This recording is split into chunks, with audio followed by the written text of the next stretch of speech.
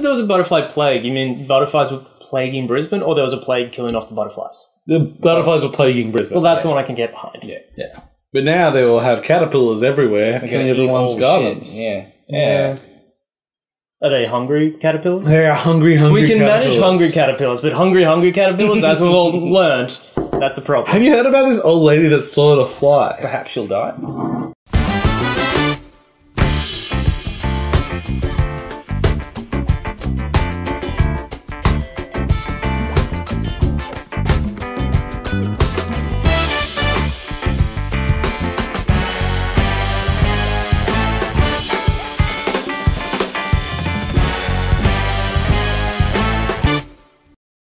Welcome, friends of all designs, to episode 194 of 8.5 Bit, which I'm sure is going to be the muggiest episode of them all. And butterfly filled episode of Yeah, them all. yeah, All the butterflies are outside. The Oh. butterfly plague that is plaguing the butter- butterfly plague that is plaguing Brisbane.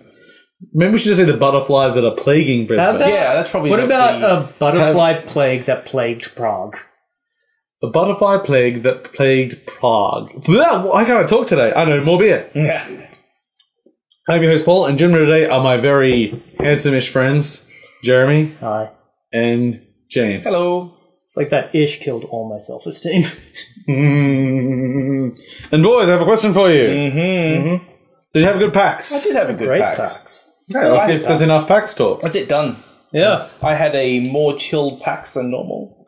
We said done. Now it's time to talk about Our Boy. Yeah. For nothing but an hour Uh, and a half. we uh, very recently returned from PAX. Uh, as in yesterday, we got back. We're recording, so you'll, uh, you know, we're fresh off the off the hot button issues of the day. I forgot my lanyard. Oh, We should have we should have worn lanyards. Oh, everyone could have seen our spaghetti passes. we were special guests. spaghetti guests. spaghetti. Medium yes. spaghetti guests. Okay. Um. Yeah, PAX went very well. Hmm. So let's just kick it off. Uh, Jeremy, this was your first PAX ever. First pack, first uh, convention of any sort. How did you find the Penny Arcade Exposition Australia Edition 2016? Yeah, I really liked it. It was awesome. It was entirely overwhelming. And I was really glad that you guys, this is your third or fourth packs you guys have been to. I think there's been four years now. Four, four or five. yeah. So like without you guys, I would have just freaked out and spent the whole time like in the hotel room crying in the shower because like there are too many flashing colors and people with giant. Whereas I just walk around like I own the place now. Yeah, I've Say, noticed. hey, I haven't seen you. Yeah, come on up. Yeah, yeah, yeah. Pulled in a friend 10 minutes before the end of the show, and I still managed to get her into VR. Do It was just like, here you go, here, I know all the cool guys, let's get in there. VR was amazing. It was also my first VR experience. I had a lot of firsts. Did you get the bombs? No, that's what I was worried about. Uh, we should shout out. It's kept. By, Kept do we remember the desi- the developers? No, and we don't have our research computer, so we can't check. it's like it's on one of the many business cards I have. yeah. Um, so yes, so Kept, Kept was your my first, one VR experience. It ran through a Hive we were using. of Vive. Vive. Yeah. I always get that wrong because it's HTC Vive. I always think Hive. Uh, uh, and it was really cool. So my biggest fear was like, uh, I, I figured I'd just go in and I'd fall over. Yeah. But I wasn't so worried about looking a bit silly because everyone does when they use VR. I mean, I look cool. James and I played a zombie game. You look We- really cool in VR when you just.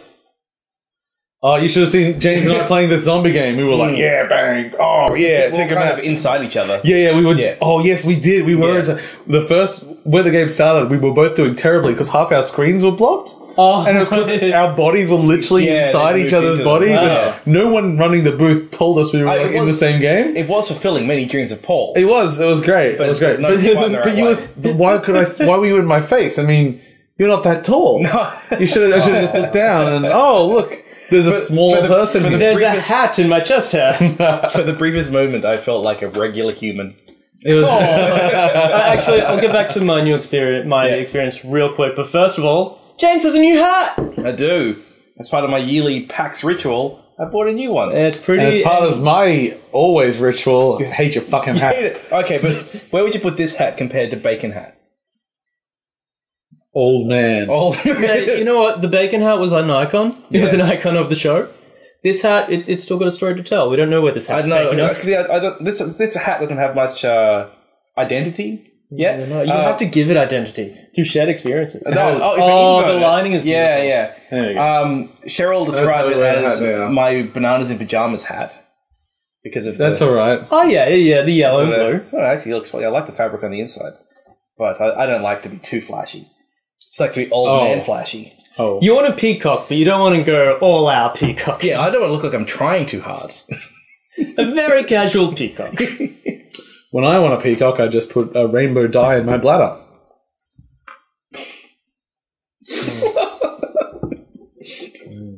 It's okay. there's a, there's a few- layers. There's a few layers. yeah, like, it didn't quite work. Like I think we can all we can all share that we can all like go on that journey individually, but like, but like it's just like it's not the journey, it's the destination. But in that case, it's neither. It's pretty. If you do it, if you do it in the sunlight at the right angle, Yeah. you get it three times. Ah, you get like Yeah. your double rainbow. Yeah, yeah, you get you get a you get a, ra- a rainbow in a rainbow out of a peacock, But, and the whole thing is a peacock. like it's just spreading its you know like a like a, a, a uh, It's spread basically- feathers. it's basically the NBC logo. yeah, which really is just pissing on everyone now with the with the shows they've made in the last five years. What did NBC make now? If only we have researching. Um, You know, we've got so much content. It's good that we're wasting time on NBC and Rainbow Europe. no, it's good that NBC doesn't make anything these days, so we can move right along. it's great. Okay, Uh, so, yeah, kept, kept, you were which playing. was awesome. Um, so I got into it, and I was worried that I was going to trip or make an ass of myself and be a gif on Reddit for those shitheads. But uh, it was really smooth getting into it. The staff were awesome and friendly. And the problem was when I first got into the virtual space, I suppose.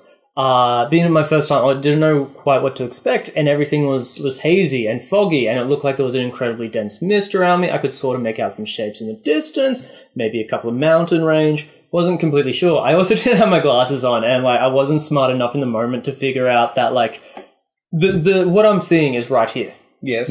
So I'm thinking like, oh my god, I'm short sighted. This isn't going to work for me. Completely false. I turn Yeah, to my left little- and there's just a blue screen there, about the size of a 36 inch TV. That's just blue. I'm like, something's gone wrong. Hmm. They fixed it for me, and the game started. And you're in this beautiful little atmospheric world with all these excellently designed trees. Uh, you pick up an amulet, and I, I couldn't believe, like, even for the first time, and it was a game that's only been in development Hmm. for four months, which is insane. Like, um, what a tactile experience it was. Like how much it really felt like I was I was interacting. Yeah, the with haptic things. feedback in the controllers is really good now. Yeah, it Yeah, I th- there was definitely a lot of VR presence this year. Uh, there was probably like I don't know, seven, eight, nine like booths. I- But I- that's just I- on the main floor. Then they I- had the VR demo I still haven't too. got an Omni treadmill though. That's what I wanted. no, yeah, we'll have to no, book ahead next yeah. time. I watched have several people on an Omni treadmill Yeah, though. did they look like they were having fun? Ridiculous. Did it look like it was working this year? No. Ah, Uh, it looks like that be- shit by now. because it's so frictionless. Most people just sort of like slide to the side as they're trying to run and everything. Ah. it's like, oh, I see the whole. Apparently, there's some a better, newer version that was on on the floor, but uh, the way they're doing the VR experience, people were just sliding around like they were on ice. Well, I guess while we're on the, the VR topic, uh, I also went along. Well, we all went along to zero latency. yeah, Yeah, uh, and I got to have a go. So zero latency is basically a VR amusement park or a VR area, A VR where- warehouse. VR warehouse where you step into it and there's there's room to move around and and uh, experience it without tethers because you've got a laptop on your back and it's a fa- it's a fantastic place to meet people in the bathroom. yeah. yes. I did meet quite a few people in the Yeah. Yeah. I ended up more business cards in the bathroom of zero latency than I did anywhere else.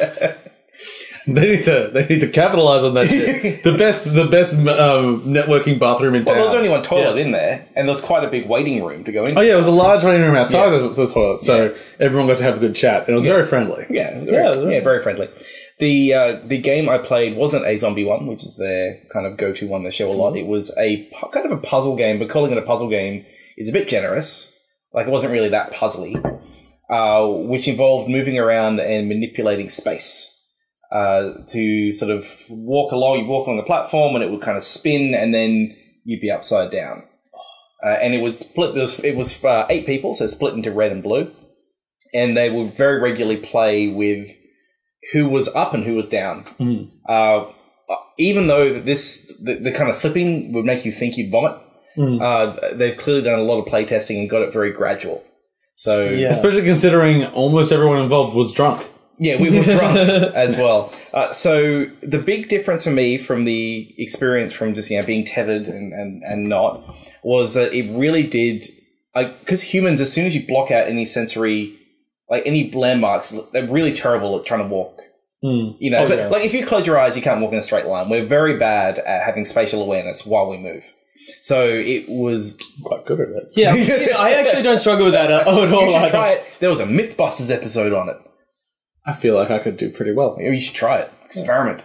Yeah. Walk in a field and try to walk in a straight Although, line. admittedly, I have like done major things, like when it's very pitch black at night, where I think I'm in the corridor and I'll just walk straight into a wall. So I have done that a few times in my Some life. corridors have walls. Sure. most, of them, most of them have at least It- two. admittedly, it was the corridor of the wall. I wasn't the far off wall my of the mark. corridor. Uh, uh, but well, at least with my terrible sense of spatial awareness, Yeah, yeah, yeah. Uh, it did a pretty good job at completely disorientating me. Uh, so that at some times there would be people that were above me, but we, in reality we would have been, you know, probably Very close yeah. together. Uh, and it even did quite well with uh, like there needs to be the bounds of the room. Yeah. And so they would position it so when there was a wall that I couldn't walk through and I approached it, then it would actually be a physical wall. Yeah. So like red kind of things that pop up and say, no, no, no, that's a wall. You can't go there. Uh, yeah, that, that part worked, worked really well. I think it was there for about 15 minutes I played somewhere Yeah, around that was a decent length of time. Yeah, which after that I was kind of done. Like, I was kind of like, yeah, this, this is like this is this is fine. Uh, there are a lot of heights which are cool. I I did feel very uncomfortable at the idea of stepping off ledges. Well, yeah, Like that happened with me yeah, too. like Because it- in it- kept right at the end, Yeah. there was a thing where you, you jumped down a pit. Yeah. You you could jump Yeah. down a pit, which I did, and it felt very Yeah, like unnatural. yeah, so which I think does does a lot to say how well it sells the illusion. Uh, but yeah, being able to walk around made a massive difference. Uh, the, probably the biggest problem I had with it is after using PlayStation VR a while ago, it's kind of ruined other headsets for me in terms of the comfort. Please, oh, the, Oh, yeah. yeah. Yeah, because the PlayStation VR, that thing you put on and it distributes the weight really well. yeah. Uh, and the one I think I was using, I think they were Vives. I think they were using. I can't remember what the Yeah, headset but what, was. whatever they were, they were disruptive enough that I would you know hold it and kind of reposition it because it felt really heavy on my face. Uh, so that was kind of surprising. Like I think even though the PlayStation VR isn't as technically good as some of the other Hmm. headsets, by far it's the most comfortable I've worn. Yeah, I'm still. I haven't done PlayStation VR yet. I'm mainly still just concerned from the amount of reports of it being the most vom vom worthy of the three big ones. Which, considering my susceptibility, Mm. I mean, uh, even um, like the Vive is always fine with me. The Oculus still makes me a little bit. Mm. Eh, like, although I got to wear one with the with the sort of with the room tracking sort of stuff Yeah. that's current, and that was better. Yeah. But yeah, the Vive is definitely the one for me. Uh, being the most expensive means I'm still not going to get it. Yeah. Well, Vive, Vive has kind of come like the de facto standard, as far as I can tell. Like it, it kind of like snuck in there, at least in the dev community. That's Oh, yeah. interesting because it always seemed to me like well, it seemed like Oculus was the VR set, and then you'd assume PlayStation being the At PlayStation least, at least, monolith. at least for, for dev, not not really. yeah, Like it, really it seems to have kind of swayed toward, and that's probably because Steam put their weight behind behind it. But like I see, uh, Oculus is more as Facebook is off over there trying to figure out ways to use it, which aren't about games. And they'll probably discover something, and that's probably what will push in the consumer market anyway. And uh, uh, Oculus has had uh, just a lot of ups and downs, and Hmm. people are. It's not necessarily that anything about it is bad. Mean, there's a few decisions Hmm. I disagree with, but I am uns- I'm just unsure of what it is at the moment and where it's going to go and what restrictions may or Hmm. may not come into it. Whereas with the Vive, I'm like, this is going to be an open platform and Yeah. it'll be supported as an open platform. I, I'm I'm really just looking forward to uh, whatever Magic Leap is doing, whatever their crazy secret project is. Which which isn't to be confused with the Leap. No, Which no, is no, a no, different no. thing altogether. Yeah, Magic Leap is a super secretive company that has had billions upon billions of dollars of investment. Apparently And- very secretive. I've never heard. yeah, no, they're deliberately very quiet about it. Oh. Uh, but everything I've heard about And that- what it does is amazing. That Microsoft headset is apparently supposed to come out this year. I didn't realize oh, that. okay, I didn't realize that close. up. Yeah, I was like, oh, maybe I've read the date long, wrong. We don't have researchy, but I thought it was still conceptual. Partly because the, the images were kind of like it blocky looking. It looked a bit shit. Like, well, its design is very similar to the PlayStation design. It just doesn't look slick. Yeah, Yeah, it's like PlayStation if it was just a box instead of Yeah. looking kind of What's the Weirdly what's retro. one called? I don't know. Oh, we don't I know. don't think there's a name. Oh, I- Microsoft VR. Yeah. Yeah. I did it. I solved. I solved that conundrum. Okay. Um. So, any other thoughts on VR before we move VR on? stuff. Um, Uh, we'll probably get to it later, but the Megathon used it really well. Yeah, yeah, yeah, well, Yeah. well, we might, may as well. So, PAX this year, uh, if you're unaware of the Omegathon, it's a competition that runs through all of PAX. At the beginning of the weekend, uh, well, they know before that, but a number of people are selected randomly from ticket holders that said they'd be up for it, uh, and they face off against each other over serious challenges. And then the very last thing that happens at PAX is the Megathon final, which this year was a VR game, which I forget the name of. Cowbots and aliens. Yeah, Cowbots and Aliens. Cowbots and Exactly aliens. right. That seems right. One person was a squid. One person was a robot. It, it was a first-person VR game, uh, and it was kind of fucking amazing. Once they got the technical Also, can we issues. quickly Yeah. give a shout out to the fact that it was two girls facing off? Oh, Yeah, Which I was like say, world first yeah. and really awesome to see. Yeah. Um, and well, yeah. At first, they didn't work because they were running on different beta builds. Yeah, so Which there, was, was- there was which was very amusing. of which someone did yell out to turn it off and on again. At which I am point, so fucking sick of that joke. It's it's It'll it's never the- get You know what? No, it's the equivalent of get me a sandwich. It's just like this go-to thing that isn't witty. It isn't funny. It's like fuck. I'm done. Like yeah. yeah, yeah. Yeah, to counter your point, that got some laughs. the guy who shouted it out got some laughs. No, it does, and everyone else in that laughed is a lower human being. I think because it is a solution that often does still work. Yeah. Yeah, Like it's still a relative, like it is still a legit thing to try every time. But exactly. But the person doing it knows that. You It's seem to be just- very No, but the- by oh, this Because joke. everyone thinks joke- it's so fucking The funny joke every is time. that it's the obvious solution. but that's not a joke.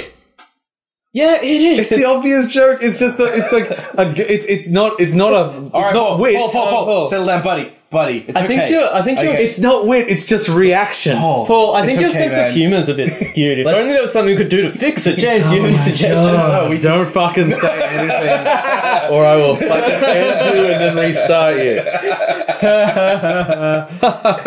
have you ever seen the IT crowd? Yeah, there's like 14 episodes. It's hard not to have seen it all. Fuck. It was fine. That's not a funny joke. Stupid. Pretty funny. Is this is this like because you work in a tech department that it grati- like it offends you? Partly. yeah. Partly. Is it because you because you work in a tech department that people make the joke to you all the time? Oh, yes. Ah, yes. I think I think I found. I was wondering where this rage was coming Oh from. yeah, yeah, because because it's the- it's it's the it's not just the the saying it; it's then followed by the explaining of the joke. and like you must love it because you you work in Oh tech. man, I didn't realize we, we were like we kid nerve with It's this just fucking stupid. It's so mindless. There was a really. Like- there was a good. We haven't done with this. no, there was a good sketch on SNL because it's related. And it's probably the only good thing Jimmy Fallon's ever done. But it was like an obnoxious IT guy, yeah. and I'm like, you should check it out. It's very funny. And the, the, it's like his big thing was like he was just a complete dick to like all the people he was helping. So like someone would be like, "Oh, the stupid keyboard isn't isn't receive, isn't working," and he'd be like, "Yeah, it's the keyboard that's stupid, not you." Well, bastard IT tech's a very, a very old uh, uh, internet concept as well. I've worked very hard to get away from bastard IT tech, unless you say that to me, in which case you can fuck off.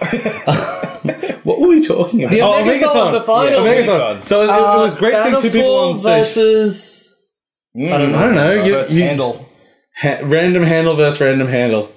Well, they had like names, which I thought was cool. I don't know if Everyone has names. no, but they they they I thought it fully was- embraced it. They didn't Yeah. call it like Emma versus Catherine. It was it was Bannerfall versus yeah, that's something else. That's that's pretty. Yeah, that's They're that's really what. although I I would have I you know what that, I think that holds esports back. The fact that it's like oh and now Slut Hunt ninety seven is here.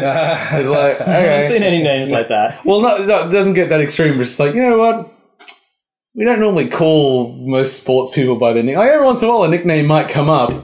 Normally, just call them by their name. But it makes it cooler. Does it? Yeah, I does liked it? Does, it. I think does, that's it, an element of identity. Is it um oh, uh, crash and burn and hackers crash override and burn? It's like yeah, it just it just every time it reminds me of the nineties. You know what blew my fucking mind? Speaking of esports, the Uh, ecstasy. LSD. uh, no, How does competitive e-taking work? I fucking love you, man. Uh, I love you more. Oh no. it's just like everyone stops at Counter Strike and moves on to DDR. um, no, I was surprised by how many people wanted to buy like esports paraphernalia and jerseys and stuff. Oh, esports is about- pretty fucking huge. A I know VR it's huge, you know? Sorry, I just had this Yeah. idea. VR experience where you give the person E and you put them in a world simulated world of hugs. But hmm. because there's no tactile feedback, they can hug no one. oh, It's nothing but illusions of hugs. Oh my god, I think that's against the Geneva Convention. That's pretty good. Yeah, I, I, I still get weirded out by esports and in their presence there. I think they found a really nice balance where they've got a stage that cycles through esports. Because originally they would have multiple stages that showed only Sure, one yeah. esport. Ah, So you'd have LOL constantly, you'd have World of Tanks constantly. And constantly. they get very loud about and they get. Yeah, very, yeah. very loud. So now it's all there, and it's one of those things where it's part. It's part of what PAX is. Not everything there is for everyone. Yeah. Like, I, I, but you give like, I everyone their wouldn't be space and surprised time if to like, there was a lot of people who never Yeah. even made it outside of the, the onto Well, the, like, like, the for- tabletop For section. me, I And there's some people that never leave the tabletop. Yeah, yeah, section. Yeah, Exactly. for, like for me, I found pretty much every PAX I've gone to now, I get to like the, the afternoon of the last day, Hmm. and I just go chill out and watch some esports. Yeah. Yeah, it's just it's just a thing I do, and I just sit there, relax, and watch whatever it is. Whereas I, Yeah, this I go we to went and classic gaming and I just play any old shit I can find. Well, yeah, well, we may as well talk about esports a bit, because it is the thing. And James and I went and we saw Counter Strike. Do you remember who the teams were? I think Oh, I, I, I never remember teams. uh, so it was Atletico. I think was one of them. yeah, and someone else. I can't. I can never remember. Uh, but the the few that I saw playing was uh, COD Infinite Warfare. It was up there. I didn't yeah. really watch too much of that. Yeah. The the main one I paid attention to was CS:GO, which I'd never really watched before. No, neither had Uh, I. and I was super impressed. Like as as an esport, uh, Yeah. the the spectator tools were very good. The And not just in the game, but like the tools that they'd set up for the stage with the lights and yeah, the nameplates. lighting's matching, like all that was so it was like And then they had the player avatars yeah, so all in that was front of good. them that went down and Uh, the players were eliminated each round. What what I thought was great was that they they they kind of bounce between the different players, and you see the silhouettes of all the players. Yeah. So you'd have more information than the players would have, but it meant that as a spectator, you could see what was going to happen and about to unfold. So like it really, I think for for me, an esport to be good, it needs to very well communicate what the narrative of that match is. And it's one of the reasons I struggle with with MOBAs is I find them very difficult to read of like what is the story of this match. Uh, CS:GO, Well, they bought some boots. yeah, they bought some boots So the BBK. Woo! I- What does BBK mean? Oh, something, something, something. oh, well, that was informative. Yeah, yeah. It's a it's a thing which is invulnerable for some I think it's time. British Broadcasting Channel. I don't know. Someone's gonna. It could be BBK. I don't know. But anyway, I, I find it difficult to follow. But with with StarCraft Go, Lux can. For what it's worth, I find that one very difficult Yeah. too. But I'll watch uh, fighting uh, shooters, uh, strategy Yeah. games, esports much easier. yeah. Uh, so I think There's only one true esport, and that is Rocket League. Rocket League is a good one. Which was on the first day, and that was quite fun to see on the screen. Rocket. Oh, oh, And super, super and, easy to and follow. Armageddon. Also easy to understand. Yeah, Very I exciting. enjoyed the length of the matches in CS:GO. I've, heard you're more of a length man. Yeah, I do I like my length rather than I like. But You prefer that you're not a big fan of a, of a large girth of a match. no, no, no, I like it to be short but deep. That's sort of what I want. So I don't know how the euphemism's going at that point. it doesn't really work. Short does it? but deep. Ah, but I think know. short is a measure of time. Yeah. Oh, deep, deep is in the complexity. Oh, yeah, yeah, yeah, yeah. yeah. Ah, yes, yes. um, yeah, it, it was really cool for me because, like, again, first convention, I've never seen esports in person before or anything, and the crowd was super into it. Hmm. And you'd expect that because it is a game, uh, it is a convention of celebrating Yeah. games. But it was so good, and there was like legit tension, and Yeah. the crowd would react to certain moments, hmm. certain picks, and Counter was- So, so audience, we've ticked two things so far. Hope, yeah. We'll have to do like a news attack at some But now point. we can tick off Paul interrupts a discussion about esports. No, no, no, no. no. Uh, we, we haven't even added esports yet. I've got to add that and then tick Uh, so yeah, and I watched Rocket League 2 and it was really cool watching people react to the goals and like uh, in the match one of the people were It um, was much better than watching them react to just waiting for the game to start. which they did for the Omegathon and people were into it. Uh, reacting Made to some goals. funny jokes about tech support. Yeah, oh, they turned it off and on again. very, It so funny. Yeah. Uh, th- and like it was cool watching people and then like it, it became obvious that one team was just outclassing the other. Uh, and it was fun watching the crowd really support the underdog and getting into it. Because that's what you want to see. Yeah, 100%. I think with, with esports, No one ever likes a winner in Australia. yeah. I think with with esports, I'm guessing there's a lot. There's sort of less. Uh, I guess. What's the word I'm looking for? Uh, like support for a particular See- team. Like it's more like you just want to see a good match. I think we actually Yeah. got on this uh, when we started to explain the Omegathon and never actually did it. Oh, okay, let's get back to the Megathon. Sure. Let, let, us let's knock that off the list. Yeah, yeah, Yeah, but real quick, I think you're absolutely right. Which is actually somewhat related to my first point. Like you support, you just want to see a good match, not what were a. any of these ports? I like sports and I cheered at them. You want a good match, and you don't like. I I like. like a good match, not a bad match. I like you how know? hosting 101 is to deride Yeah. the conversation that's going on around you. Well, um, I've- well, we've got a lot of meaningful conversation. Well, a lot no of, one's a lot fucking of, heard of a half these lot- things. That's the point. The, well, a lot of this is just like post sports. It's like, well, you know, we're on the game. The that was point good. I'm but we making lost is it. like I would be the same thing that you just watch to watch the game be played at a high standard, but it surprised me how often people were going to buy those esports jerseys for a particular team. for a particular team, which is where the fucking conversation started. No, that was the Megathon. Then we got derailed. Yeah, by that conversation. Okay, And jerseys. good. Okay. Best thing, well, fuck the Omegathon. We're moving on. Um, best thing at PAX. Best thing at PAX. Best thing you played at uh, PAX. I really liked Horizon Zero Dawn. Horizon Zero Dawn. We Very got much on there enjoyed. first day. Yep. Yep. Um, so, uh, what were your impressions?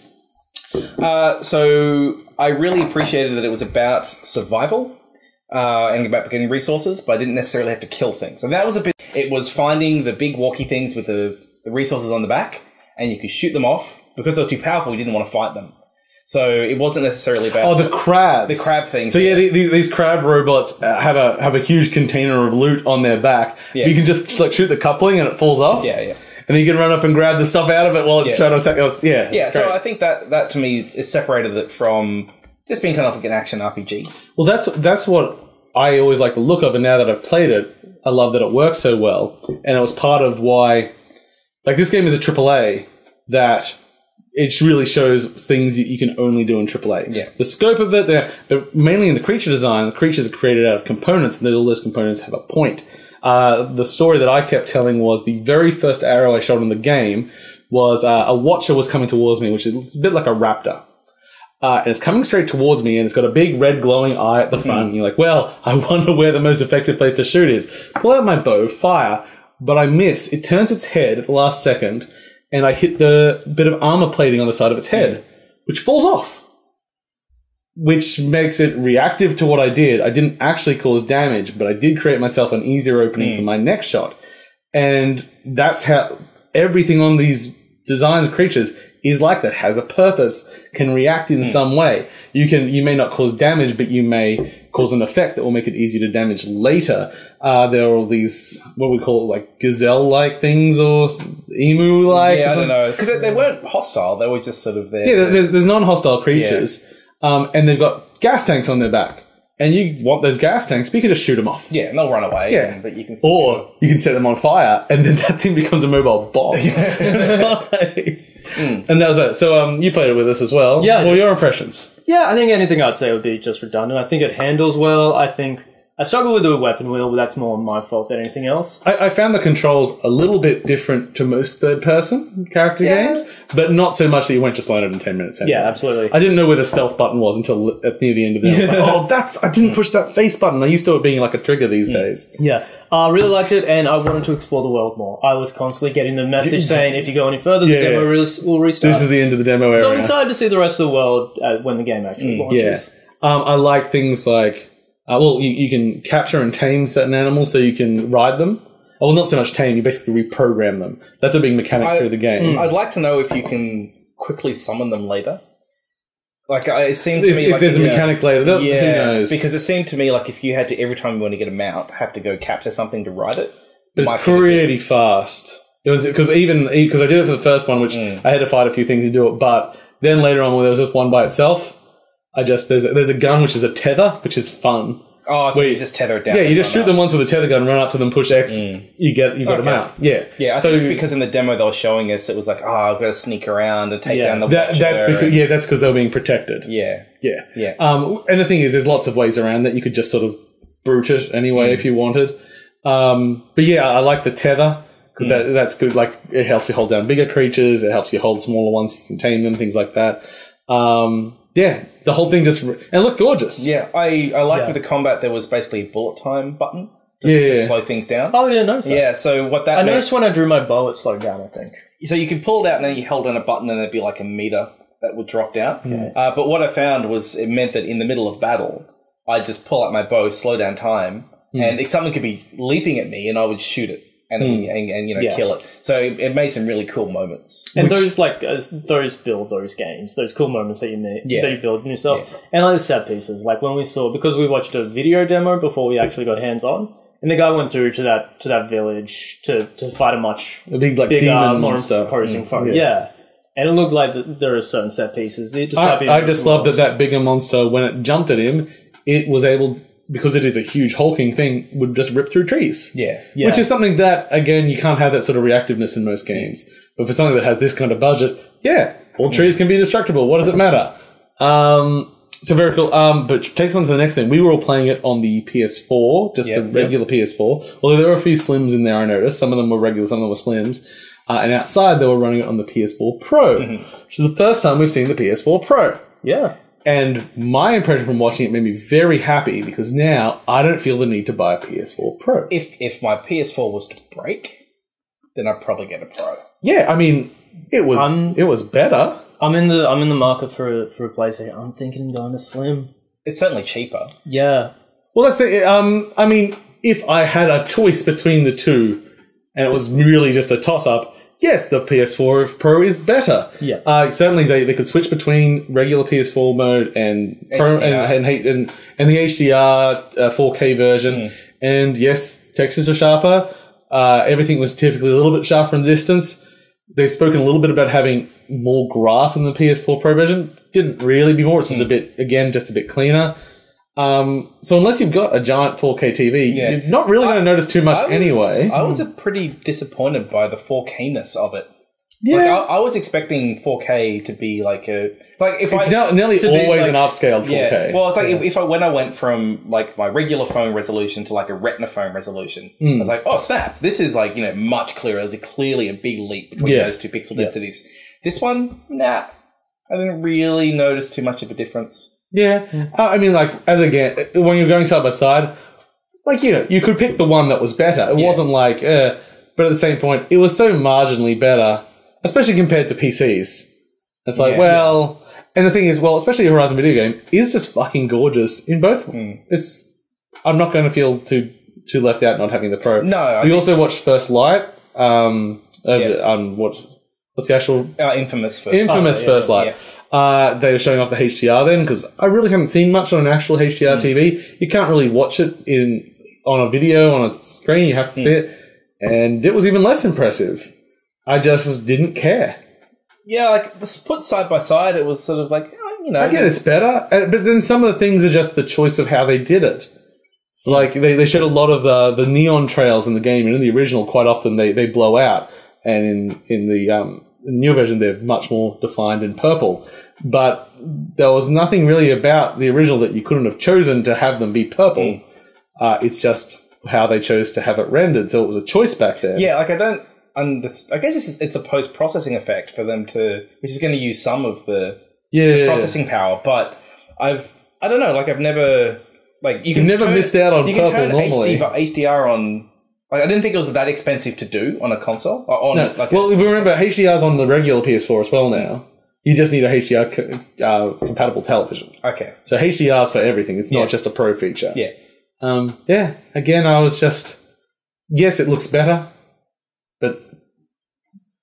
it's not. It's not. It's not most games on my PC I better. think it, it was it was very incremental and not so much so in a way that I thought was a big a big increment. yeah. And I mean, the price point between the Slim and that at the moment is something like 160 bucks. yeah.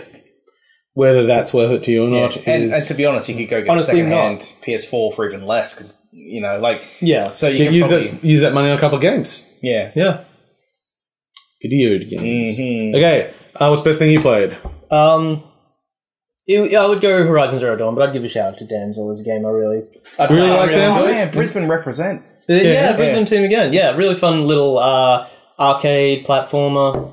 Um, it, it's kind of got a cool story. Behind, uh, real quick, it's like uh, you're a character called Damsel. You're going around fighting vampires. Uh, really nice looking 2D art.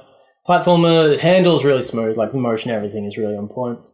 I kind of got a cool story behind it. Um, I forget the names of the people involved, but uh, there are, I think, uh, two men and a woman in a team, and uh, the woman was on a panel at PAX a Uh, couple of Meg, years. pretty sure. Meg, yeah, yeah, yeah. Um, PAX a couple of years earlier, talking about women in games.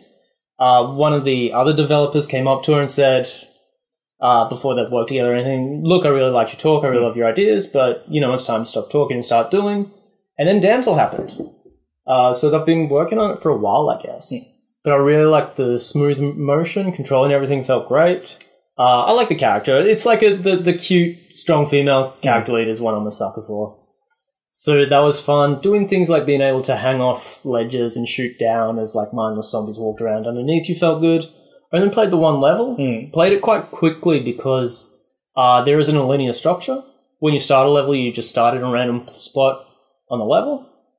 Oh, okay. I, don't- thought, I thought it was level You don't, based. yeah, you don't set on a random spot. Yeah. They're designed levels. The design levels, but where you start in that level is always random. I always started in the same spot. That may have just been a demo, but this is what Meg told me. Oh, okay. Hey, Interesting. Yeah, I didn't realize Yeah, it was structured because like that. because they're uh, they're leaderboard based. Because the whole the whole They point, the whole point of the game is it's very quick levels, uh, and then it's all leaderboard. So if there's randomization in there, that would ruin leaderboards.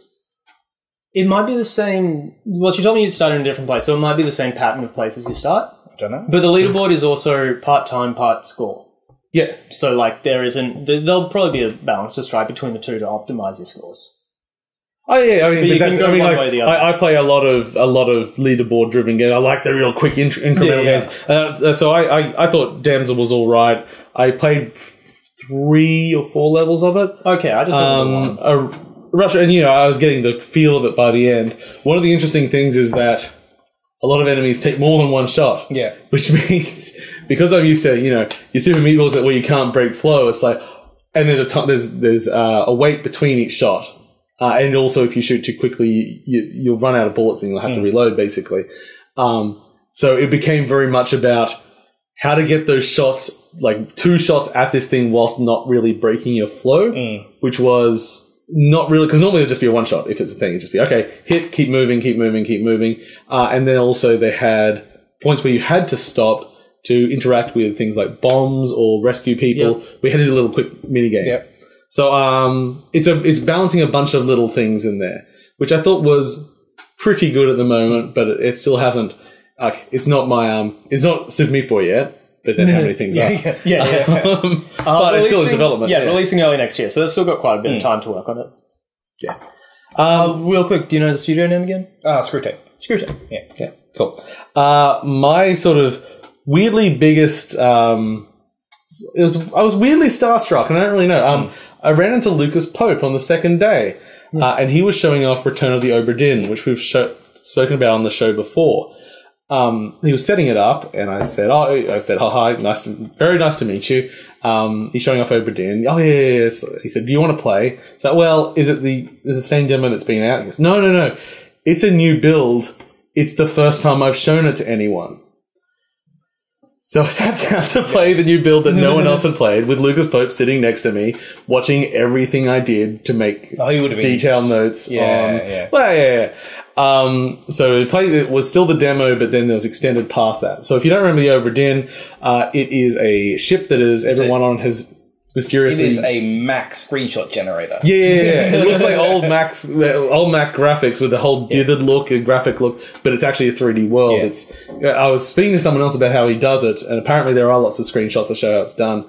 Basically, it's the 3D world, and then sort of the density of how things are supposed to be painted are just different colors. So like everything will have like a solid pink face, and then like a blue arm. Oh, and he needs also- to, I hope he does a tech talk on it. yeah. Well, apparently, apparently he does post this stuff quite regularly. I have to look that up. It looks looks very cool. Um, so the idea is that you're on the ship trying to discover the fate of all the crew, uh, and you do this by you find a body. You've got this uh, basically a stopwatch that will take you back to the point of that body's death.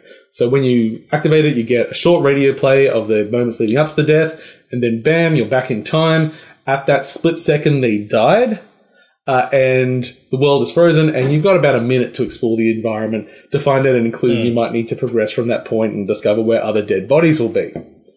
Uh, then you find the manifest, uh, and you open that up, and you're able to fill out how the crew person died, who they were, and you look at that, and there's like hundred fucking names Yeah, that. I think I think one of my criticisms when we played it was how overwhelmed I was. Like, like Yes. as soon as soon as I saw the the registry, I was hmm. like, I don't want to play this now. There's like hundred names, and I have to like get how they died, who killed them. Like, fuck that, I'm out. So Lucas's comment on that was that that is exactly how you're supposed to feel because it's supposed to be so overwhelming. You just say "fuck this," Yeah. and you forget about the manifest. Basically, See, I would say that was that's kind of a bad design decision. Yeah, I'd my, agree. My response was, "Fuck this, I'm not that interested anymore." ah, So- but see, after that point, that's when they start throwing in the first fantasy element. Remember, Which is the big crack. which is when yeah, because you've just been seeing people like stab and shoot each other, and then you discover this woman's body, and you go back in time, and she's died when the mast falls on her because a fucking kraken is tearing Yeah. the ship apart, and you realize this game has got a lot to show still. Uh, after that point, which was the original demo, uh, they start to introduce some more gameplay mechanics where you are actually supposed to interact and bring bodies in from the past. This is a point where he was taking the most notes. well, that's the yeah, that's the stuff that hadn't been playtested. Uh, it was really interesting. So um, that stuff I won't go into too much because eventually you'll be able to play it and everything. Yeah. But um, they did keep showing more very very impressive vignettes in this past area.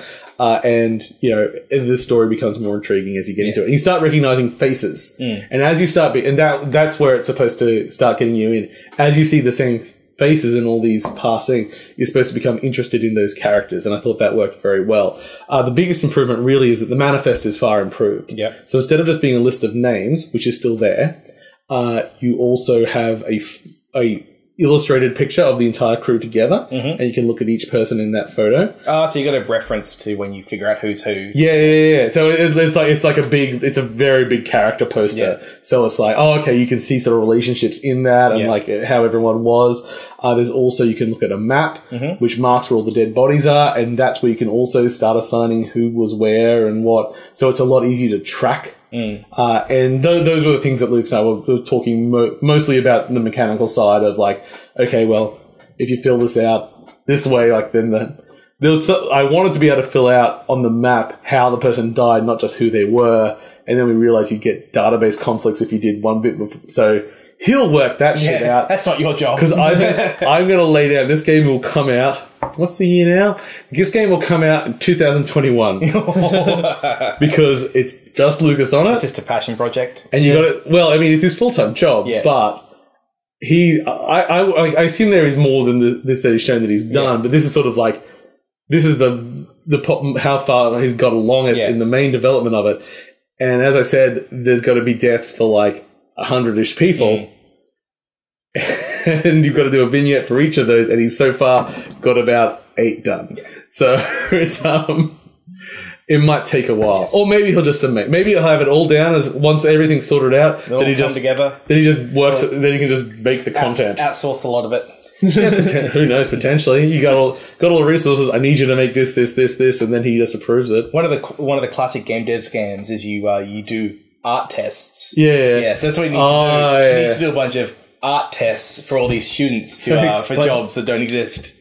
Oh, so someone's Oh yeah, submits it's, art it's, for it's, the a, it's, a game. class, it's a classic game dev thing. It happens. Yeah, uh, yeah. Where someone will say, "Oh, look, you know, we're interested in getting you, but can you do an art test, please?" And some poor and that sucker art artist, test is doing the art for the game. yeah, it'll then just get used in the game and they don't get paid.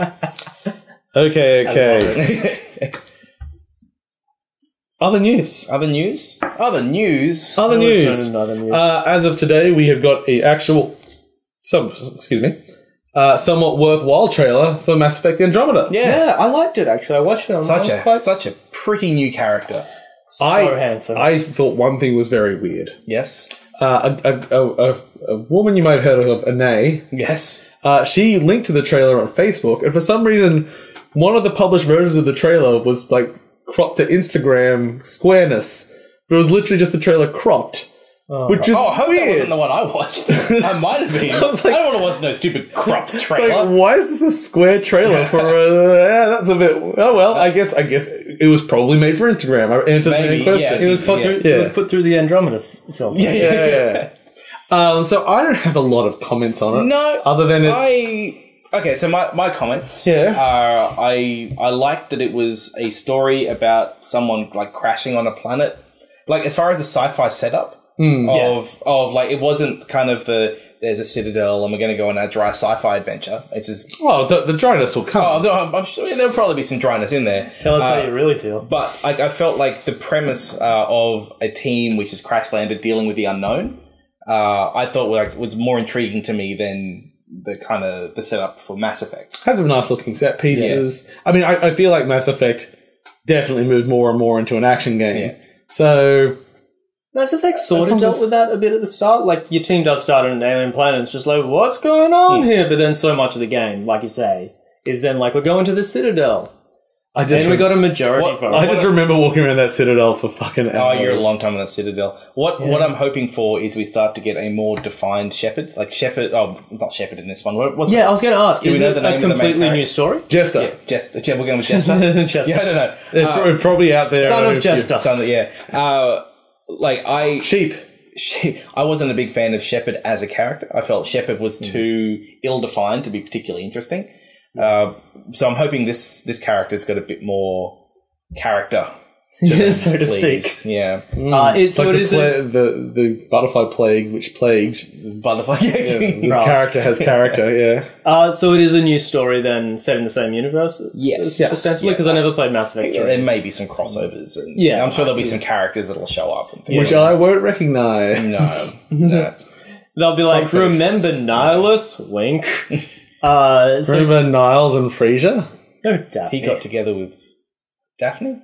In, uh, for, uh, Niles got with for yeah. He was the, the butler and the nanny. Uh, Charles. Giles. Yeah. and he got with Cece in the end. Yes. Yeah, I never believed that relationship. Why not? I because Are they, you more of a Doritos man? It was built on playful bickering. Just a couple of I just- kids. I just- They just hate fuck to happiness. I know, like I'm just imagining those two fucking, and it just doesn't. Oh, It doesn't work. Really looking forward to your like uh, motivational speaker talk of hate, fuck to happiness. Sign up to my pamphlet. Send like a box of DVDs for fifty bucks. Uh, I think I'm I'm kind of in on Andromeda to be honest with you. I think just because it Yeah. looks so pretty. I I'm hopeful. I'm hopeful. Yeah. Okay, I'm going to start pushing through a bit of stuff Yeah. because we've got a lot of content, and I, I do want to talk about a lot, most of the stuff here at one point or another. Uh, Titanfall 2 has released the ability to play multiplayer solo. I didn't realize that. That's cool. Yeah. Ah, okay. You know, Titanfall 2 Oh, okay. is doing real fucking good. yeah, I, I hope it does well long Yeah. term. Yeah. It's it's very well reviewed. It's very well liked. just like It's not just not selling the biggest. It's Well, hopefully you not just have badly. like a drastic sale after Christmas where you sell it for like forty bucks just to get the player base up, just for me, just for me? Because I think, uh, yeah, I like that game. Maybe they'll like, when things get low, they can put it on some like PlayStation Plus or something and get that player injection Yeah, back true. in. Doesn't help me, but true. Hitman Season well, 2 has been announced. Good. That sounds like that series was good. Yeah, I think it's uh, I think it was a fantastic strategy. Hmm. I really, it, basically, it's turned a release from the beginning of the year into a year-long game Hmm. where the fans have kept up with it. It's kept in the news cycle, and I'm still talking and thinking Yeah, about I'll it. probably oh, I'll pick up like a game of a year, like a season one. Yeah, Oh yeah, yeah. Just pick up the thing when it gets cheap. exactly. A box set. Yeah. Did you want more Left 4 Dead content? Nope. Oh. But sure, yeah. No, Okay. moving on. No, no, Moving we, no, on. no, no, no, no, no. We can have more Left I 4 didn't Dead. even. I don't even know the story. What's, Uh, what's they up? have released the lost unfinished chapter of the original Left 4 Dead. You know, I did know the story. Yep. Well, there we go. That's it's it. very That's the exciting. story. That's it. Yeah. Um, That's cool. That, that's there. yeah. Let's go get it. Pills here. I do like pills. Okay. Um, I guess as, as news as well, uh, we had the Australian Game Developer Awards. uh, lots of accolades around. Uh, the winner of Game of the Year was Agent A, a puzzle in disguise. Yeah, the mobile game got game of the year. Yeah.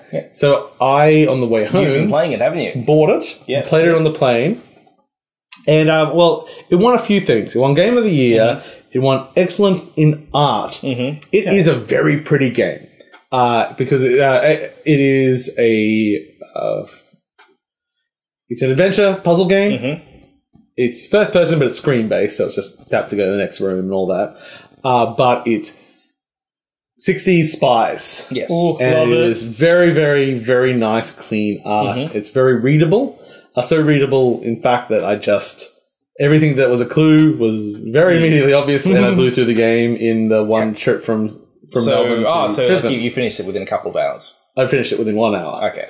That said, it was a dollar. Well, Yeah, that seems 99 like a- cents yeah. on the droid store. Yes. So uh, no, that that uh, excellence in audio. I played it on a plane Did you have headphones? only when I was at the piano because like oh if it's a music puzzle I better check Yeah. so I can't comment That, on that that. is that is one of the um, a mobile game getting excellence in audio is a is a fine feat because Mm-hmm. often audio is very much overlooked in, in mobile games. Yeah. Who plays with That's audio? one of those things because when I did listen to the piano, I did leave the headphones on for a while, and it, it didn't seem to have much like incidental Yeah. music or anything. So, but then it's a mobile game, so mm. you don't normally have that. So I can't really comment on that. What I did want to say is that I mm. found it interesting that it got Game of the Year because whilst it was very playable, uh, it was a puzzle game which was like here's a Simon Says puzzle. Mm. Here's a rotating block puzzle. Like no but puzzle took me more than like sort of 20 seconds ish. Yeah. So not that that's bad, because one thing it's also episode one, so you start off of it easy, mm. but it's also accessible for other people to jump into. But for something that's like very not like it's a great package, and I would not deny it from that. It's also not really experimenting with anything. It's just a very solid mm. Game that I can't. I don't have any Well, because complaints what, about. what else we got? We've got um, Uh, for, uh, for, uh, Assault Android Cactus, Yep. which I thought, I mean, admittedly, I do really like the developers, Hmm. but I thought that put a lot of light into that score based um, twin stick shooter, Hmm. so much so that it's a genre I don't normally like, and I played that quite a lot. Yeah. I thought it had a very high attention to detail. Uh, and like all the modifiers and everything they put on, like there were a lot of things that I hadn't seen before and were like at, at such a high level. yeah. Um, and then what else was there? Something I hadn't done. The Warlock the Warlock of of Firetop Mountain. Mountain. Do you know what that is? I, I haven't looked it up yet. I do not know that one. We should look that up. Yeah, I'm I gonna like- put a big. I like the name. So I, I, I didn't mean to. I didn't mean to like rag on Agent A. Then No, it, I'm wasn't mean that all- at all. they're all good. Yeah, they're all very. It was all, and as I say, for the for the buy-in cost, it's not like I didn't have a good Yeah. time. and as it like the actual atmosphere and the design of the world is fucking great. Hmm. But yeah, I, I I was a little bit just ho hum about the gameplay. Um, it did what it was trying to do, but. I mean, it, I, there's also the excuse that I've played a million adventure games, so maybe I'm not the right you judge. did burn through those things pretty quick. Yeah. Yeah. And maybe it did bring adventure games to a bunch of people that haven't really, you know, Yeah. played that many of them. So what we're saying is, Paul's a jerk. No, you're not. No, no, no. no. You're doing your job, buddy. You're providing insight. Um, yeah, uh, yeah, no other real Yeah. comments on Agent A. Um, I, I did enjoy it. Uh, but otherwise, uh, our friends uh, uh, with Assault Android Cactus did end up picking Timmy. up. Uh, yeah, Tim got uh, excellence in uh, technical excellence. Oh man, he was a happy man. yeah, it's good He- awards again. I think he had a grin on his Yeah. face all weekend. Yeah, he was very he happy. was. uh, sometimes it was a bit of a sloped grin because Oh, he'd he was. He drinking was quite a a lot. man. I think he just spent that weekend in a haze. Um, other big winners: Studio of the Year went to League of Geeks. Yep. Yep. Uh, beating out Defiant. I think Defiant got it last year. I have a feeling they're just like taking turns. They just uh, Hipster Whale and Zero Latency, which at the beginning of the weekend, when we went to the. Zero Latency party and I was talking to all the people at the studio there, I didn't realize they were a studio. I Oh, thought, yeah, yeah. I thought they were just a amusement. Yeah. And they had like, and they just bought the games or whatever. No, no, no, they They in-house do the in-house, yeah, technology and the games, which which not only means that they have, you know, they can keep pushing stuff and changing stuff as technology changes, but I just love the fact that their offices sit above the play area. yeah. So when you got when you pushed out a build, Mm. we go like, oh yeah, we're testing the new build tonight, and you just look down and you just watch people blindly running Yeah. around screaming at zombies. Like that's like Yeah. Mm. you've got constant playtesters, and it's kind of cool and I- fun it and positive. Be, it'd be a, a fun place to work because you're solving a lot of problems. yeah, yeah, yeah. And from what I was saying earlier, where I was playing a game where I would literally walk around in a big circle and upside down, Yeah, yeah. and I did not feel sick. Like that, that Yeah. says something about what they've learned while making those those. Uh, and, and that wasn't a game that they were currently doing for public. They were just really testing that. Yeah. So it's not in its final form anyway. So it's yeah. I was like, oh, yeah. I wanted to know at least at least I got good contacts with a bunch of people Yeah. there, so I'll keep tabs with them. Lovely folks. Yeah. um, uh, anything else? Like there, there's other winners, but we don't need to run through everything. Um, look, we'll just leave it for now because uh, there's uh, killing time at light speed Um, won a bunch, but I haven't played it yet, and I've got a copy of it, so I think I'll play it. You should we'll play. come You're, back. you're, you're more into visual novels than I am, so you might get into it more than I do. And uh, and I quite like John Kane, the developer of. Mm. He also made Melodrops, uh, and Has that guy won some awards? He is award winning. John, John award winning Kane. One third of the Australian gaming industry. That's what I've been told. Okay. Uh, oh no, I was going to say that's about it news wise. No, no, we got BlizzCon. BlizzCon. Yeah. Okay, so there's a new Overwatch cha- character. So I'll go to our resident Overwatch expert, James. Jeremy, who is who is the new character, and why do we care? It's Sombra, and mostly we care because. Boop. Yeah, there we go. That's why we care, guys. The boop. Uh, so she is an interesting character. She's got a stealth ability. Uh, but what's really going to change the game is the way one of her natural abilities, her, her right click, is to hack an opponent so that they can't use their own abilities. Which is really going to. So you can lock someone down. You can basically shut people It's down a, entirely. it's a jerk character. It's very different from the original pitch, which was Sombrero. Which was, yeah. It was a bit like Jigglypuff. You could have Siesta on someone. Uh, and that was a very powerful attack. Uh, it's just uh, exciting character. Like it- the story of how she came about has been there for months. It was like an ARG. Still don't know what that stands for. Or, uh, alt, Alternate reality game. alternate reality game? Augmented reality game? Al- al- alternate? alternate reality yeah. It's, game? a, it's an alternate reality game. But it's happening in our reality. Yeah, Yeah, yeah, yeah. But Yeah. They, they, they're pretending like there's a whole like you know. It's, it's, Yeah. That's what I Love Bees was and all that. sort of Yeah, stuff. yeah. Oh, yeah, yeah. yeah. Uh, and uh, people went crazy. Tragedy was solved. They released the character. Didn't happen. I remember there was some disappointment. There was some disappointment. There was some tears. Uh, and to BlizzCon, I think she's going to really change up the competitive scene. Did- Doesn't she have a translocator? She does, Unreal which is a lot Tournament style? Yeah. Yeah. which looks quite fun. Uh, basically, it'll probably be used more for movement. Defense, maybe? Or Yeah, escape? Yeah, escaping, absolutely. But the way she shuts down other characters' abilities, the fact that she can um she can hack health packs. Oh, I thought that was Around the map? because health packs can uh, can kind of decide the, the flow of the game. Yeah, Someone can, yeah. So if you can disable them, yeah. Was it disable? Turn them, make them harmful. Uh, only disable them for the opposition team. Uh, your team can still use them. Yeah. I think she's going to change the meta. We don't really know anything about it. It's just Blizzard just keeps churning out content. We got another great animated short out of it, and I'm happy. I'm a happy fanboy. Do you have any joke pitches for other characters? Joke pitches. Yeah, like Sombrero. um, Sombrero. Um, What about don't. Somba and her ability Beery. is that she just makes everyone sad. Oh, That'd be good. I don't know. Brew, Brewmaster. And That's pretty good. I Okay, got nothing. uh, they are remaking Diablo One inside Diablo Three. kind of, yeah. So, Well, not really. Uh, Aren't they making you can play Diablo Three, Diablo One style? Yeah, it's it's a it's. I think it's going to run for January. It's like a month long thing. It's not a Yeah. permanent thing. It's like a it's a weird event. hack. It's a, an event thing. uh, so they've, I think they've recreated the first act or somewhere, somewhere close to of of Diablo One. Yep. They've got like a retro filter. They put it at the top, so you play it in all its pixelated glory. that one, that bit was like that's Yeah. the worst part. Oh of no! it. They've, they've also uh, locked the animation, so they they don't actually you don't see the Yeah, animation. yeah, yeah. yeah. so it goes between, and it's only eight directional movement. it's eight directional. See, those things I liked. Yeah. I was just like, I don't want, I don't want like a pixel Yeah. filter over the top. uh, and yeah, it's just going to be playing some of the classic Diablo in that in that style. I'm pretty keen to check it out. I think I, I think it'll be amusing. it's going I to be mean, fun. you you still use your Diablo three character. yeah, yeah, So you still take them. Uh, Will they have the butcher, and do you just go through a window and I hope through so. the window? I hope so. They, I'm sure they'll they'll recreate a bunch of the enemies and make original. If the if the butcher actually has real AI, that would be shit. yeah, that'd be terrifying. Because yeah, I don't even know if he's possible to beat without cheesing. I don't know. I Has cheat- anyone ever I know, tried? I cheat the shit yeah, of yeah, it. he, he is possible, but very Yeah. difficult. I'm pretty sure it's a lie. um, no one's ever tried. Uh, and the other Diablo news was that the Necromancer class Yeah. is coming. So they've added the they're going to be the Necromancer pack. It's the first paid uh, expansion to uh, Okay. Diablo three, where they're going to add new classes. And they, I heard, the, also heard them saying about that that they're not just copying the Diablo 2 Necromancer because that would be cheating. Uh, yeah, I think there'll be. I saw some what looked like corpse explosion. So they, I think they'll have the iconic abilities in there. Uh, I think it It'll have a new hat.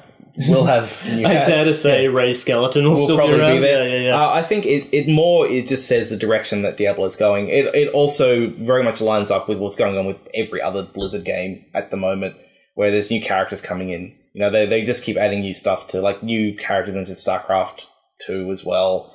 Um, so yeah, I don't know. It, it's, When does the successor for World of Warcraft get announced? it's not going to happen. I do you mean it's not gonna actually happen? don't think it'll happen. I hundred percent. It's Uh, gonna I don't know. I think I think Blizzard is doesn't want to be an MMO company. I think they want to aim small.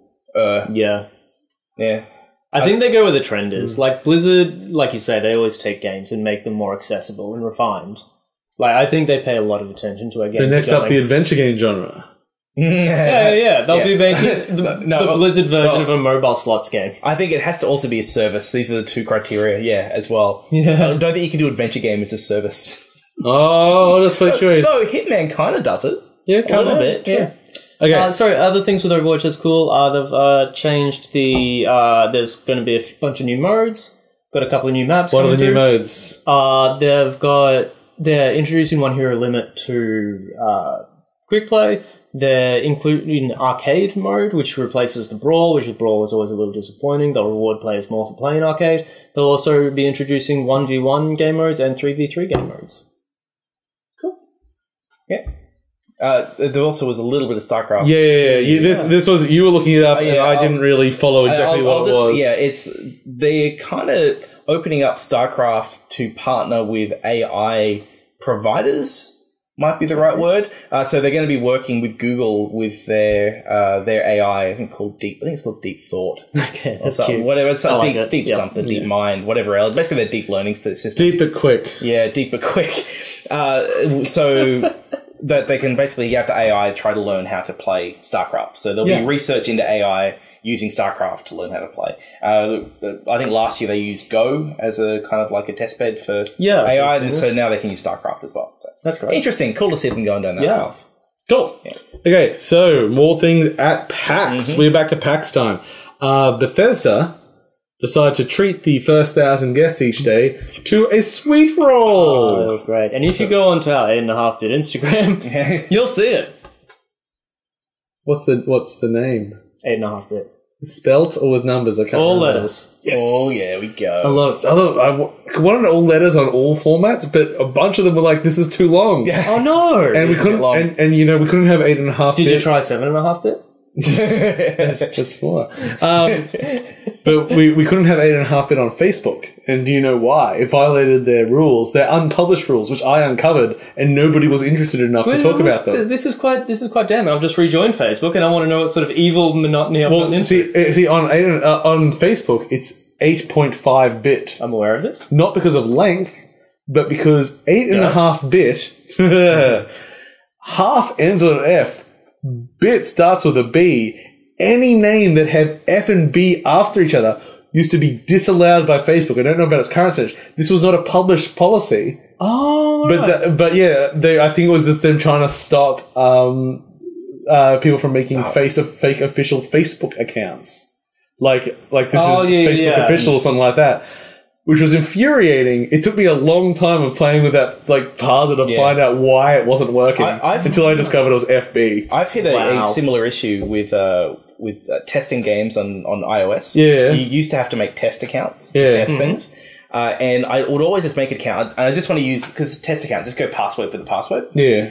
and I try to make it, and it would just go, it would fail, but never tell me why, and it was because he just wouldn't let you use password as a password, Mm-hmm. Yeah. but there's never any feedback for that. there was there was never any like this password is Yeah, disallowed. otherwise I'd be like, oh, cool. Well, I'll just change it to something. I'll else. make a password one. How'd you know my password? Jokes on you. It's password two. One, two, three, four, five. Um, good, good, good, good, good. Okay, uh, but continuing Bethesda news. Uh, so they sponsored, so Skyrim Remastered. Yeah, that was Skyrim. Remastered Sweet Rolls. Skyrim Remastered was, um, was the banners in the queue room, which says they've always got the score holes for people to throw beach balls through while they're waiting. Uh, they had Skyrim Remastered all over the Xbox Mm-hmm. um, pavilion. Uh, it's around a few. pa- Now, outside they had a chair for Dishonored 2. You could sit on that chair, Mm-hmm. and when it was first up, I couldn't really tell what it was for, and then on the back, see oh, it's for yes, Dishonored. yes. Now, Dishonored 2 is is a, re- IP really needing promotion. Mm-hmm. Like it's a it, it was a very well received game, but not really a huge seller. Mm. It comes out next week.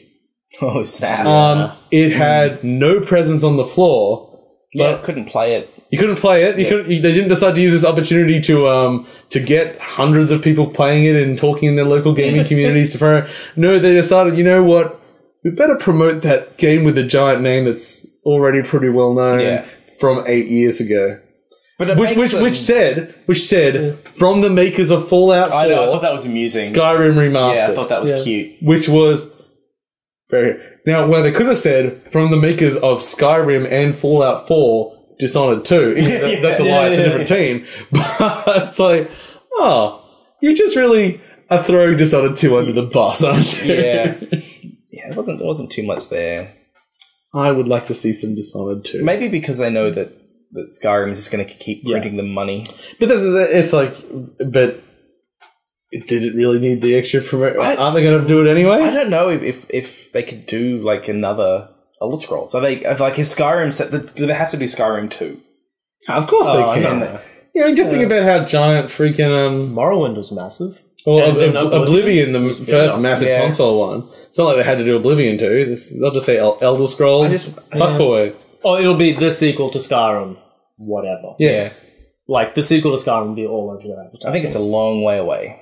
Yeah, yeah, most Yeah. likely. Yeah. Um, and also on that, just we, I don't think we mentioned it last week. Uh, we there won't be a lot of reviews of uh, Dishonored two, uh, at least good ones, anytime soon because no preview copy. Bethesda do not no longer send out uh, preview code uh, review codes to uh, to media until the day before release.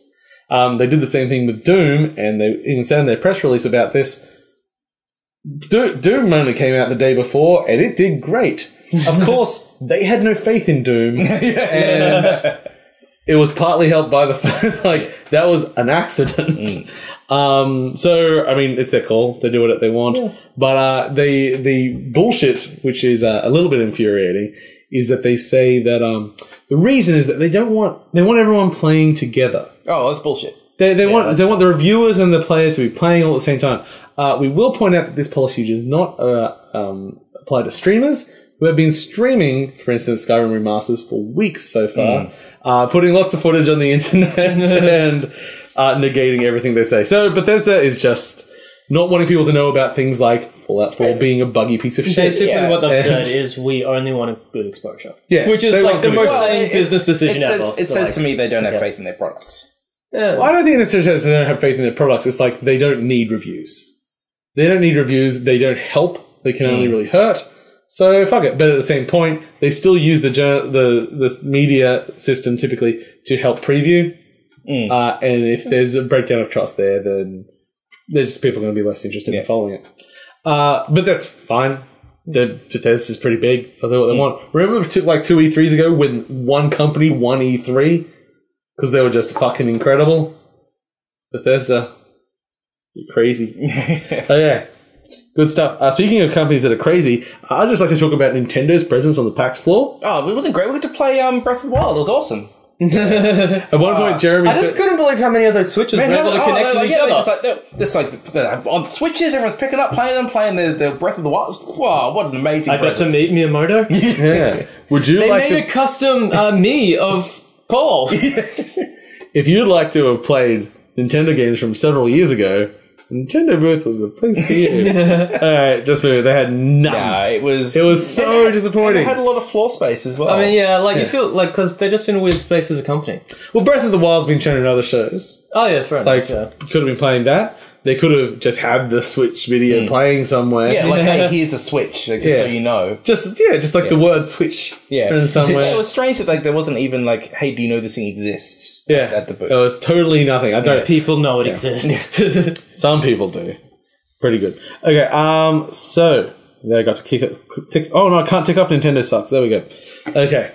Uh, we also hosted a panel on Friday night. yeah. Uh, the first panel that we've uh, done at PAX. really? Um, I didn't know that. No, that's the first time I've stood up and hosted a thing. Oh, good for you. Uh, I thought it went relatively well. we did fun. the ultimate top five video game list of all time, which was a nebulous topic meant to be a load of shit. Uh, that is perfectly exemplified by what got number one, which was the trailer for No Man's Sky.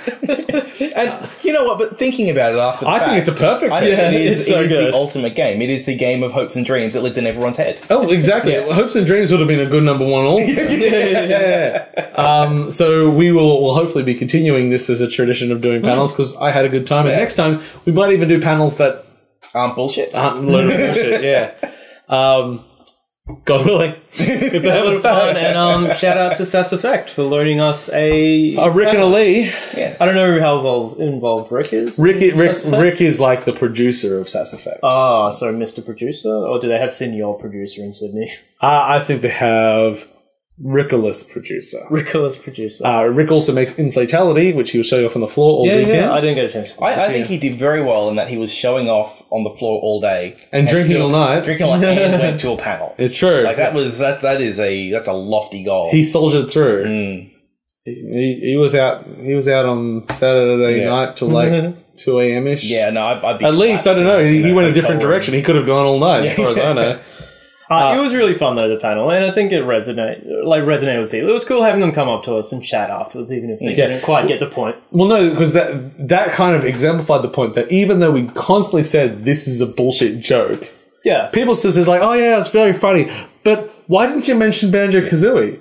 Like, because it's a bullshit joke. but Banjo Kazooie is amazing. but as we found on the panel, it is fun to talk about, even though you know it's uh, a uh, uh, like you'll it's failed to doom. You you won't get it on the list. It was still fun. Even in our discussion. group afterwards, we was Well, we did like we made Yeah, fun yeah. of like of the of the, the panel, but no, we were afterwards at the pubs. Like I was like, oh, why didn't forgot we this, mention I forgot Pac-Man? this. I forgot this. Yeah, because Pac-Man is a Trump supporter.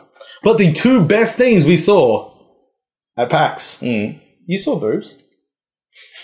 there's lots of boobs at PAX. Yeah. Oh well. Um, well I mean, One was an arcade game called Super Chase. oh Jesus Christ. uh, which you had to track, was Super Chase chase was down amazing. criminals with a, a standing racing game It's just- uh, where you have to ram them off the road. But the best game was a beat 'em up game called Vendetta. Can Vendetta. I just want to? Can I just say I don't approve of this particular list of the ultimate top two video games at I in- in no way stand by this endorsement of Vendetta. now, I assume Vendetta was uh, made in the early 90s, early or mid 90s. Hmm. But Or just like the middle southern US. Yeah, I was going to say, or it's very recent. Yeah. Uh, very Streets of Rage style. Uh, and you might, you know, we've got a few questionable characters in Streets of Rage previously. it, was the the least inclusive thing that I found. It was the most homophobic game I've ever seen. It was really yeah. bad. Uh, it uh, on the streets, uh, gay men would attack you. Well, one they would prance. Yeah, with they their were hands sort of like up. had And their they, were, hands they, up. were, they looked like that. the, the biker from yeah, leather-clad bikers. from yeah. uh, who am I thinking of? Village People. Thank you.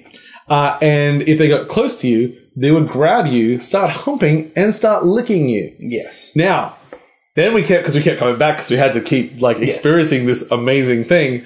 Uh, if there was a pole on the screen, they'd start doing it just to the pole Yeah, as well. so it wasn't even so bad as that they couldn't help themselves when there was another male character on the screen.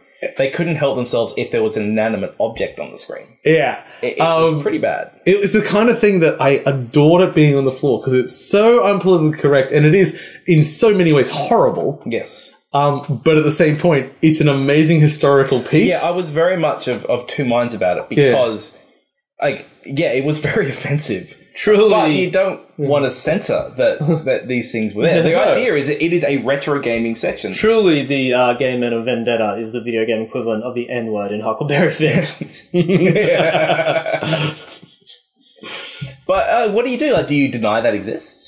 You know, No, no, no. you know, so I, I, I am never for censorship of Yeah. the part. Was, And- and was thing there is- any like disclaimer on the cabinet or anything saying this may offend? No, I think it was just very well. Here's a thing. Take it as it is. Yeah, So I see, say- I think I would have appreciated like a disclaimer. Like it didn't offend me personally, but I understand like a lot of people would find that uh, because the gaming community is online now, and that brings out the worst in all of us.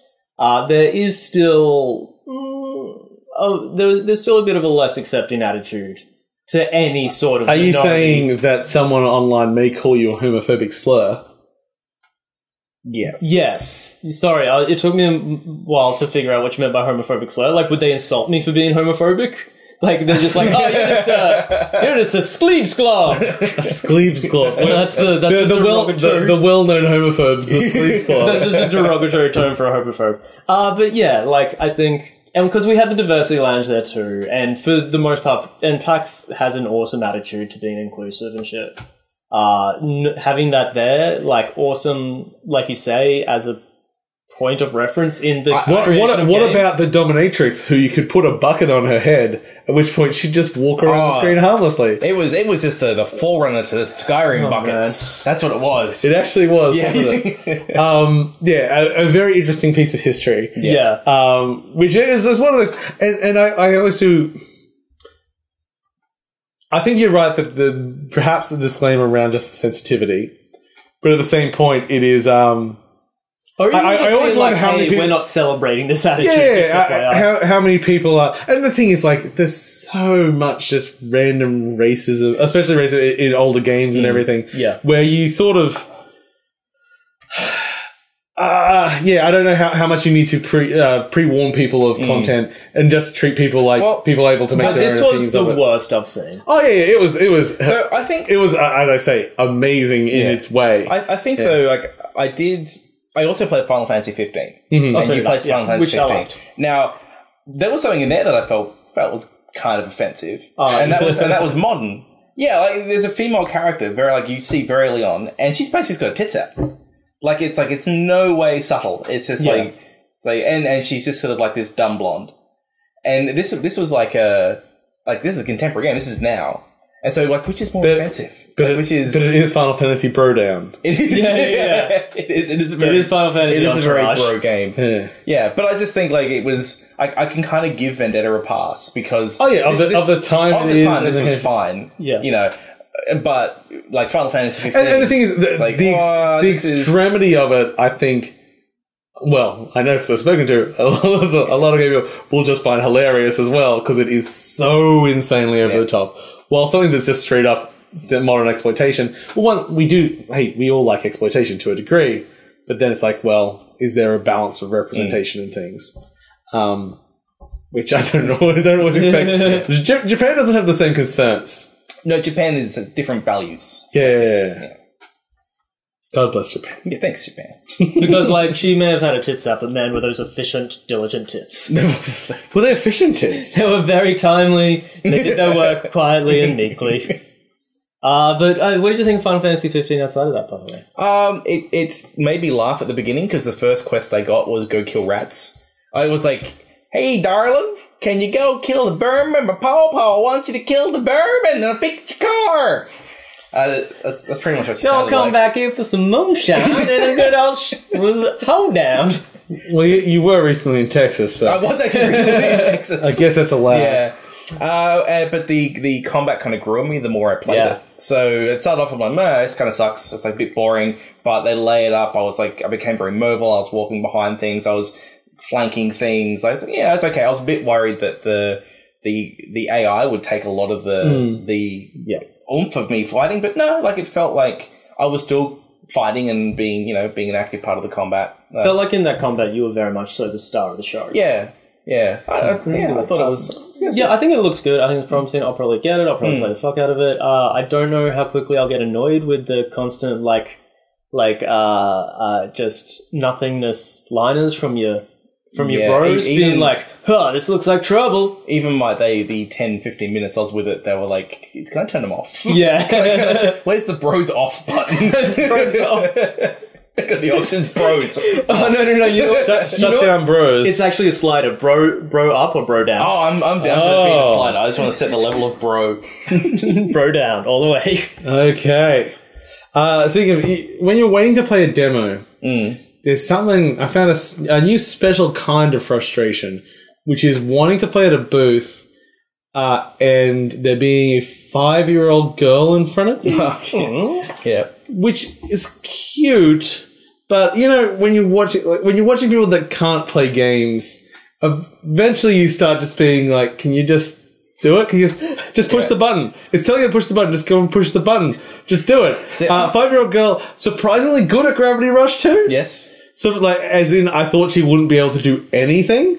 Uh, but no, no, no, she was far more dexterous than I expect, and she was flying around the city fine. Unfortunately, when she reached the combat, where you have to fly in the air and then attack people, she couldn't do both of those things. So I watched her fumble around for 10 minutes or so trying to do the first encounter in the game.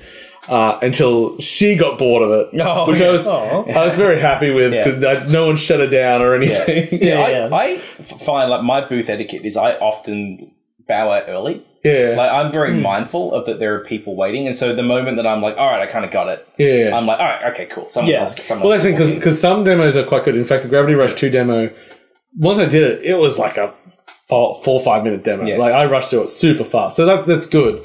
But there are other demos that I played which are like, I, I Obra Dinn, I sat up for like half an hour, 40 minutes. but you were the only one playing. yeah. But I could only be the only Yeah. one playing, and that's and like it- it's not a good show full thing. But there are other things like that where, yeah, they had like a fifteen minute demo, which becomes, hey, there's one station and there's a lineup of ten people mm. behind you, and you do bow out early. Sometimes. I didn't expect the the little girl who was dressed as what's the Overwatch character that's like an angel. Oh, Mercy, was that who it was? She was- I saw she that. was- Tiny Mercy. that was Yeah, yeah. she was so fucking cute. Yeah. Yeah, so she was, a tiny adorable. Mercy playing it, and yeah. But then I got in and I beat it. I'm better, I'm, I'm better And than then, the first little girl. then You're you grabbed that sh- child and was like, "See how it's done." You fucking gonna do a flip here? and, Uh, ah, I'm the same with you though on the booth etiquette. Like I was very quick. Like I only played the one level of Damsel, uh, uh, Bird's Ball, which we'll talk about in a bit. I just played the one game and ba- bounced. Um, But they kick, but no, you swap after around in basketball anyway. Yeah, you should, true. yeah, uh, I the Eyes of Ara. That's the point and click adventure game. It's from missed. Australia. yeah, Yeah. Yeah, uh, I played that. Didn't finish the demo. I played it for a bit. Just got like out of this first. I wouldn't main think that's a particularly good floor game. No, but like I, I went there and there was a there was an open PC, Yeah. so I just So- sat right down. So that, that was part of like the, the indie showcase. Yeah. uh, are the Eyes of Ara. Um, one of them, uh, game that we've now been following for years, Paradigm, which is going to come out in January or February now. Ah, Cool. So Oh, which how do Paradigm? I Uh, think I that missed that's that's a Western Australian adventure game. You're sort of a little bit Sovietish themed. Your main character is like a sci-fi guy with a tumor on his head. okay. He works for an uh, evil corporation run by an evil sloth that's modified himself to vomit candy. Uh, there's a beatboxing eggplant. But surprisingly grounded game. Yeah. um, and what they like, so how do you show uh, adventure game on the floor? And whilst they did have basically the demo, which is the Yeah. first couple of screens, uh, and you know that still takes a while to do. They also had it's full of mini games, and one of the mini games is a dating simulator, uh, which ends with you jerking off a toaster. um, and I, as I was talking to one of the devs, because uh, Can originally I I, thought set it the was setting on the toaster down low so it finishes quickly? Ah, no, no, no, it's just the lever. It's just the lever up and down. Um, so originally I thought it was just one guy. and I think it was for a lot, but now um, uh, there was another dev there who'd come over with him, uh, and we were talking, and he was pointing out that as you as you move the toaster lever up and down in rhythm, uh, the very bottom of the slot just starts getting wet and moist and dribbling. I'm like, Such a detail. it is it like the amount of just like detail and crazy ideas there's in that game. I think it's going to be incredible. Um, and the, like, yeah, there's there's um like one of the mini games he was telling me about was like um I can't remember what it was called, but it, it was uh, basically like an insult like rap battle pimp game. Okay. Except you had to uh, you were complimenting everyone. Okay.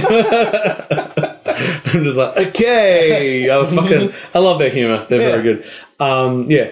So yeah, I think these these like these little prototype ideas that they can't turn into a full thing. There's, there's Yeah. like, Oh, yeah. it. Well- we'll just make this and put it in. because when they were first showing off years ago, it was just an adventure game, Yeah. and now it's an adventure game filled with stuff. There's even like like FMV sequences, and we there's, and uh, there was one point in because I had like a um a, a um there was just like a, a track mode sort of trailer for the game. And like as part of it, it's like anime style e- edited uh, animation. it's like, just wait, can you do that? To, or did you outsource this bit, or what? Like, there's so many styles and ideas and everything thrown into it. Whilst at the core is a solid adventure game, and then everything else. Yeah. Uh, which and the even if some of the everything else isn't great, well, it's going to be there briefly, isn't it? Um. So yeah, I'm really really looking forward to Paradigm. Um. Anyway, um. I'll, Can I just give a shout out to Paradigm real quick? It could use a more defined name. Uh, yeah, I'd say the name Painfully doesn't, forgettable. doesn't really explain Like what it is that I've much. finally committed Yeah. uh, uh, like Horizon Zero Dawn to never. Oh, that's terrible. yeah. I'm Yeah. always be- uh, Paradigm's better than Horizon Zero Dawn. Yeah, because it's one worded hell. Um, just quickly on Gravity Rush 2. Uh, so played through that very briefly. Uh, there's just a lot of quality of life changes Yep. to it. Uh, just the way you home into enemies when you're attacking them. Uh, there's a lot of bigger attacks now, so it's a little bit more spectacular. The world's more colorful, and there's a lot of incidental items around. Yep. I mean, there were in the original as well, but now it's just more densely packed. So that as you're fighting and throwing around gravity objects and stuff, there's just more kinetic stuff happening. Okay. Um, uh, yeah, it seems it seems very solid. It doesn't seem like a crazy departure from the first game. Uh, in fact, I think if you're having motion sickness with the first one, you'll probably still have it with this. So And they I, didn't do a VR version. no, thank God. they Um, might have tried it and went, nope. yeah, at, at least in my demo, I didn't get any motion sickness, but I mean, after after like an hour or so of Gravity Rush Yeah. on PS4, I was still getting Mm. yeah. So I, I think I'll have the same problem, but I really like the game, so I'll probably still get it because I, I played through games when I've Mm. vomited many times. All the Half Life games make me vomit like a motherfucker. Oh, King's Cup. King's Cup. It's a drinking game. Oh. Oh. All right, so there's still a lot on here. There's still a I lot? don't think we have time to go through all of them. No. So let's let's. But we can go through we- some good yeah, ones. we can go, let's well, look then- some good this ones. is just so. Um, actually, I have, this is more news. Yeah. Uh, so one of our favorite games. I'll just actually just say one of our favorite games. Full stop. Regular human Hmm. basketball, uh, made by our friends at Powerhoof that also make Crawl. Crawl. Um, this was a free game they released now about two years ago. surprisingly polished free game. Yeah, um, and it was amazing. It was free. It's very polished. It's very fun. Uh, and in conversation, I discovered they're not done with it. Good because that game is amazing. They are going to make it. They are working on a more robust, and it's it's difficult to expand. There's, there's a few Mm. Well, challenges they, there. They've already got a good party game just sitting there. Yeah, exactly. So um, I'm hoping for more So regular regular, human. oh man, Well, we we did pitch regular human World of Sports, yeah, which, yeah, which yeah, was yeah. already on the cards, but they're not sure about. Uh, so there's a bit of there's nothing firm, but uh, it's good. Uh, and in other news, in our um, let's uh, in our we had a lunch with Ron Gilbert. Yes. who is now Good uh, old Ron, who is one Friend of the show. good old Ardo. well, yeah, well, yeah, the amount of times he's been on, he is friend of the show. Um, which Mm-hmm. is coming along swimmingly, uh, and I was very pleased to discover that there will be uh, two difficulty modes in Mm. it, uh, and the it's going to affect the length of the game greatly. Uh, it, it's still being worked out, but he suggested that the story mode will be four to six hours long. If you play the full puzzle mode, it will be around fifteen plus Yeah, hours that's a, that's a lengthy, which um, is a significant I- difference. Out of the, the conversation we had with him, I like one of the, the concerns he said he was having was that people are viewing it as like a, a retro throwback game, Yeah. when it's really not. Yeah. Like it, it, it does have a lot of kind of modern adventure game elements in it. Which I gotta say, it is partly his fault. He did pitch it as the se- Oh yeah, the this- sequel for Monkey Island that was found in a, uh, yeah. to, to Maniac Mansion that was found in a drawer. Yeah, yeah. yeah, yeah, That was his original pitch. But I mean, yes, it is not like an old game. It is Yeah. a very modern game, Yeah. just with uh, art style which is very similar to Hmm. the old. Um, yeah, yeah, it, it sounded very exciting. yeah, I'm really keen on it. Yeah, It's a shame they they had a demo running at one of the at one of the pubs. I think the co-op party. Oh, yeah, is it's a yeah. I didn't get a I, chance to check it out. I saw him there with the thing, but I didn't go look at it. Yeah. Oh well. Just send us all the code, Ron. I'll just wait till it's finished. Yeah. It'll be good. Um, okay. Uh, anything, anything you'd like to specifically talk about? I actually didn't spend because we've got kind of mainly indie stuff. Yeah. left, don't we? Uh, I didn't Right. actually spend too much in there. Um, you said yeah, Birdsketball. Basketball is yeah. brilliant. It, uh, Birdsketball is a game which, in fact, I should have bought it down there because they had a fun idea. They were selling Steam codes on five and a half inch floppy disks. Ah, Um, just printed on the back, but they've done they've done like a screen print. On I the didn't realize that, Pretty so that's why I didn't buy it. And you thought you had to actually use a. I thought, Oh, I I thought have I'd one of those it in drives. and like it would open up just a text document with my key. I don't. Yeah, if they actually expected you to have a, a working five and a half inch Yeah. bay, because the thing is, I've, I've got working like three three and a quarter inch bays, but most of them are now using a USB interface. Yeah. Um, I've, ne- I've never seen anyone make one for a five and a half. five and a half. Sorry. Yeah. Yeah. And what was se- what's seven and a what's, what's the ratio was- on the seven?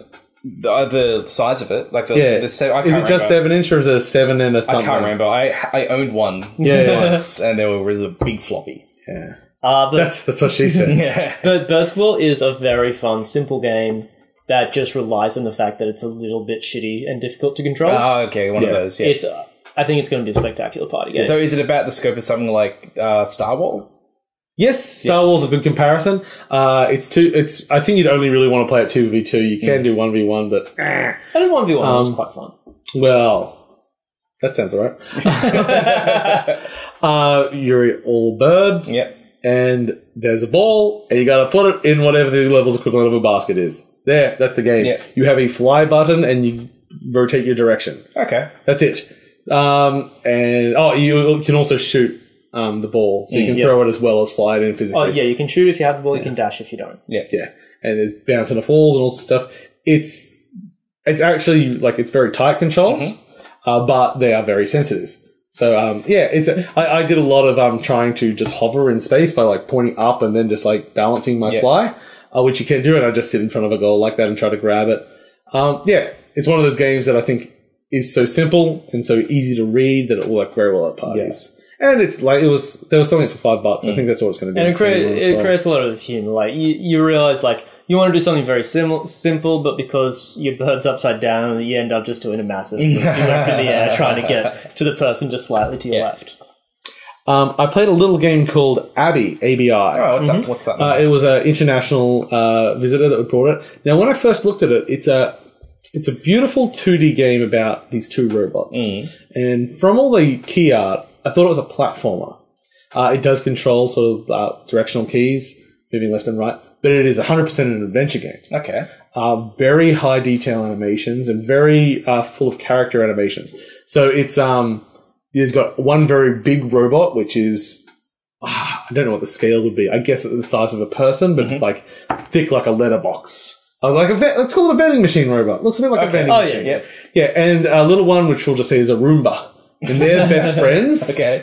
Uh, and and it's one of those things where it's not it's not like an action platformer, but there's enough freedom of movement that it feels nice. So if you're the little guy and you walk up and do action on the big guy, you just climb up and sit on his on top of him, and then you take control and you just switch between the two characters yeah. at will, and you just walk along with both of them. Then, although they will sort of follow each other Hmm. around, but you can so you can keeping them together. Also lets him to get to higher So vantage points. Thomas is alone. Uh, no, no, no, no, no, because that's very much a puzzle platform. Oh, okay. Yeah. This is go into a town, walk into the shop, talk to the robot shop shop Oh, owner, okay. pick up an item to you, like inventory. There Seven wasn't inventory, but there was item manipulation Yeah. and moving with things. So you pick up things and use them together. So it was still you would use the environment. yeah. Um, so there was getting around environment puzzles, plus item puzzles, plus character based puzzles. Yep. There was dialogue and that sort of thing. Uh, but mostly, it is a beautiful looking Mm-hmm. game. Uh, in fact, they, they gave me a series of postcards, Nice. which I think I'm actually going to put on my wall Oh wow. because Okay. they it, it really is it, it's sort of uh, sort of very muted colors Mm-hmm. um, but but at the same point quite high contrast muted colors so it's like er- so it's very colorful whilst not being bright Yeah.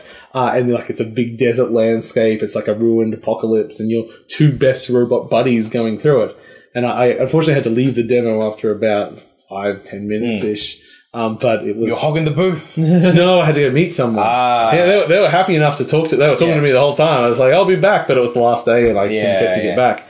Um, yeah, really, really nice looking game. Actually, there was a lot of adventure games, and in fact, what we didn't mention with Paradigm is that it actually won the Showcase Award this year. So it was like the number one indie There game. you there. go. Adventure games. It's like adventure games are back. Mm. I'm stoked for that Interesting slightly. Like, because Yeah. they translate so well to mobile too. Yeah, Like yeah. these, I think, are all PC games we saw. Yeah, these are all running on PC, but I think. Yeah. Mm, I, oh, actually, I don't know. But I wouldn't be oh. surprised if all of them basically have the mobile Excited about eventually that. as well. Um, well, I just sort of find. I've tried a few on mobile now, and I think I've gone back to I just play them on PC. I actually, I, enough, when I first got my, my first iPad, the first game I got was Monkey Island 2, Mm. thinking that this is this is the dream machine Oh, yeah. for adventure games. And then I got it, and I was like, oh, my hands moving all over this thing. It's a pointing device. This is shit. It's like this this motion is Yeah, much yeah, yeah. much easier. Yeah. Uh, that's a shame because, like, I think adventure games lend themselves to the way you play mobile and, games and a too. Like, screen. Look how much of my finger Yeah. is sitting there. It's actually not really that good. Uh, yeah, I, I played through Dropsy on mobile recently, and I was sort of like, I should have played this on PC. Yeah, it, it surprised me. it, it was still good, but it was. It's not the dream interface I thought Yeah. it would be. Although uh, Agent A, as I played, that Yeah, that I was think if the adventure game is built around that device, Yeah. it Yeah. can be fine. Yeah, But like I was going to say, like the way uh, you play mobile games, or the way I play mobile games, relates closer to the way I play uh, adventure games. Because like I move slowly, I'll do it in like short interims. Uh, I don't have to do have super tight controls to react ex- exceptionally quickly to things. So I think like because of that, uh, I still I still believe in adventure games on mobile. You're a believer. yeah, I'm a believer. Tell me about Dawn of War 3. Oh, oh, okay. Uh, was this for my disappointment of the show? uh, so I actually did go in wanting, uh, excited to check out what Dawn of War 3 would be. But just wait, before you say disappointment of the show, after this, please tell me about Halo Wars 2. we'll get there. Um, so I, I was a, I'm a big fan of the positional stuff that was in Dawn of War 2, which was taken from Company of Heroes. Yeah. Where it's you have smaller squads, make it about using the environment, taking cover, and if you have like a good kill zone, if you've got a like you know a good co- run cover down, then you will fight off swarms of things. Like it's like that's how shit works. You get Yeah. cover, you shoot bullets, you win. Um, that was all gone. Like I, I was have my squad and I'm clicking to go like go near the rocks and they have like a little thing where they take cover in Dawn of War two. Nah, it sort of moved there. Uh, It's like it's like going back to a more simple time of RTS. yeah, and like I had the feeling they wanted it to be more about using the individual abilities on the units. So about the micro of using the Oh, okay. units. So it's still small squads. It was still small. Like it's still not. It's not red alert. Like it's Hmm. small, but it was still a bit of a micro thing. Whereas I liked it with Dawn of War two, where it was like there's not that much stuff. It's about it's about the Yeah. environment positioning. And, yeah. Well, this Yeah. went back to like you're building bases, you're building units. You're, this where Dawn of War two was more about. I wonder if you it's got more, more capturing reaction to the territories. popularity of MOBAs. It could be. I did feel a bit like ah, they, they've given me shit to micromanage. Hmm. Uh, so I was just a bit. I guess if I want to go play Dawn of War, I just go play Dawn of War two. If that's Still- you yeah, know, still plays well, It still plays well. There's lots of content. I think there. Uh, the other game I played, which just confused the shit out of me, was Halo Wars two. Which I Yeah. have heard nothing about. So, so, So they had it bring on. it to life. They had it Oh, on the I, floor. he, he's going to have trouble explaining it, and so will I. Yeah, so it, it's, it was on the floor. I wasn't expecting it to be there. Yep. Uh, it is a small squad-based game where you have to go capture points. It's very easy to capture points. There's three points, basically a domination style map. Right. Uh, and the way you get units is you get resources that you then summon from your deck. So you have a hand of cards. and Sits at the bottom of the screen. sits at the bottom of the screen. You can then spend those cards or cycle them out and get new ones. So presumably there's a deck maybe I build somewhere. I don't know. I was kind of confused. You'd assume they'd have to be, right? Uh, yeah, maybe. I don't know whether if there's any deck building or anything like that. Um, but the mechanically, I just I didn't find it particularly interesting. It was sort of like I just select everything. I didn't like. It was so easy to capture the points, and it was like, oh well, I'll send this one off here to capture here, but then someone else might come down here. With a controller, I didn't feel like I had that much control to micro anything. It was more yep. select all the things and go there, please. yeah. Uh, so yeah, I was just a bit confused. I don't know if the single player game will be any different. I expect that this is going to be where they want most people to spend their time in this mode. It didn't show very well. I did not leave excited So- for this thing.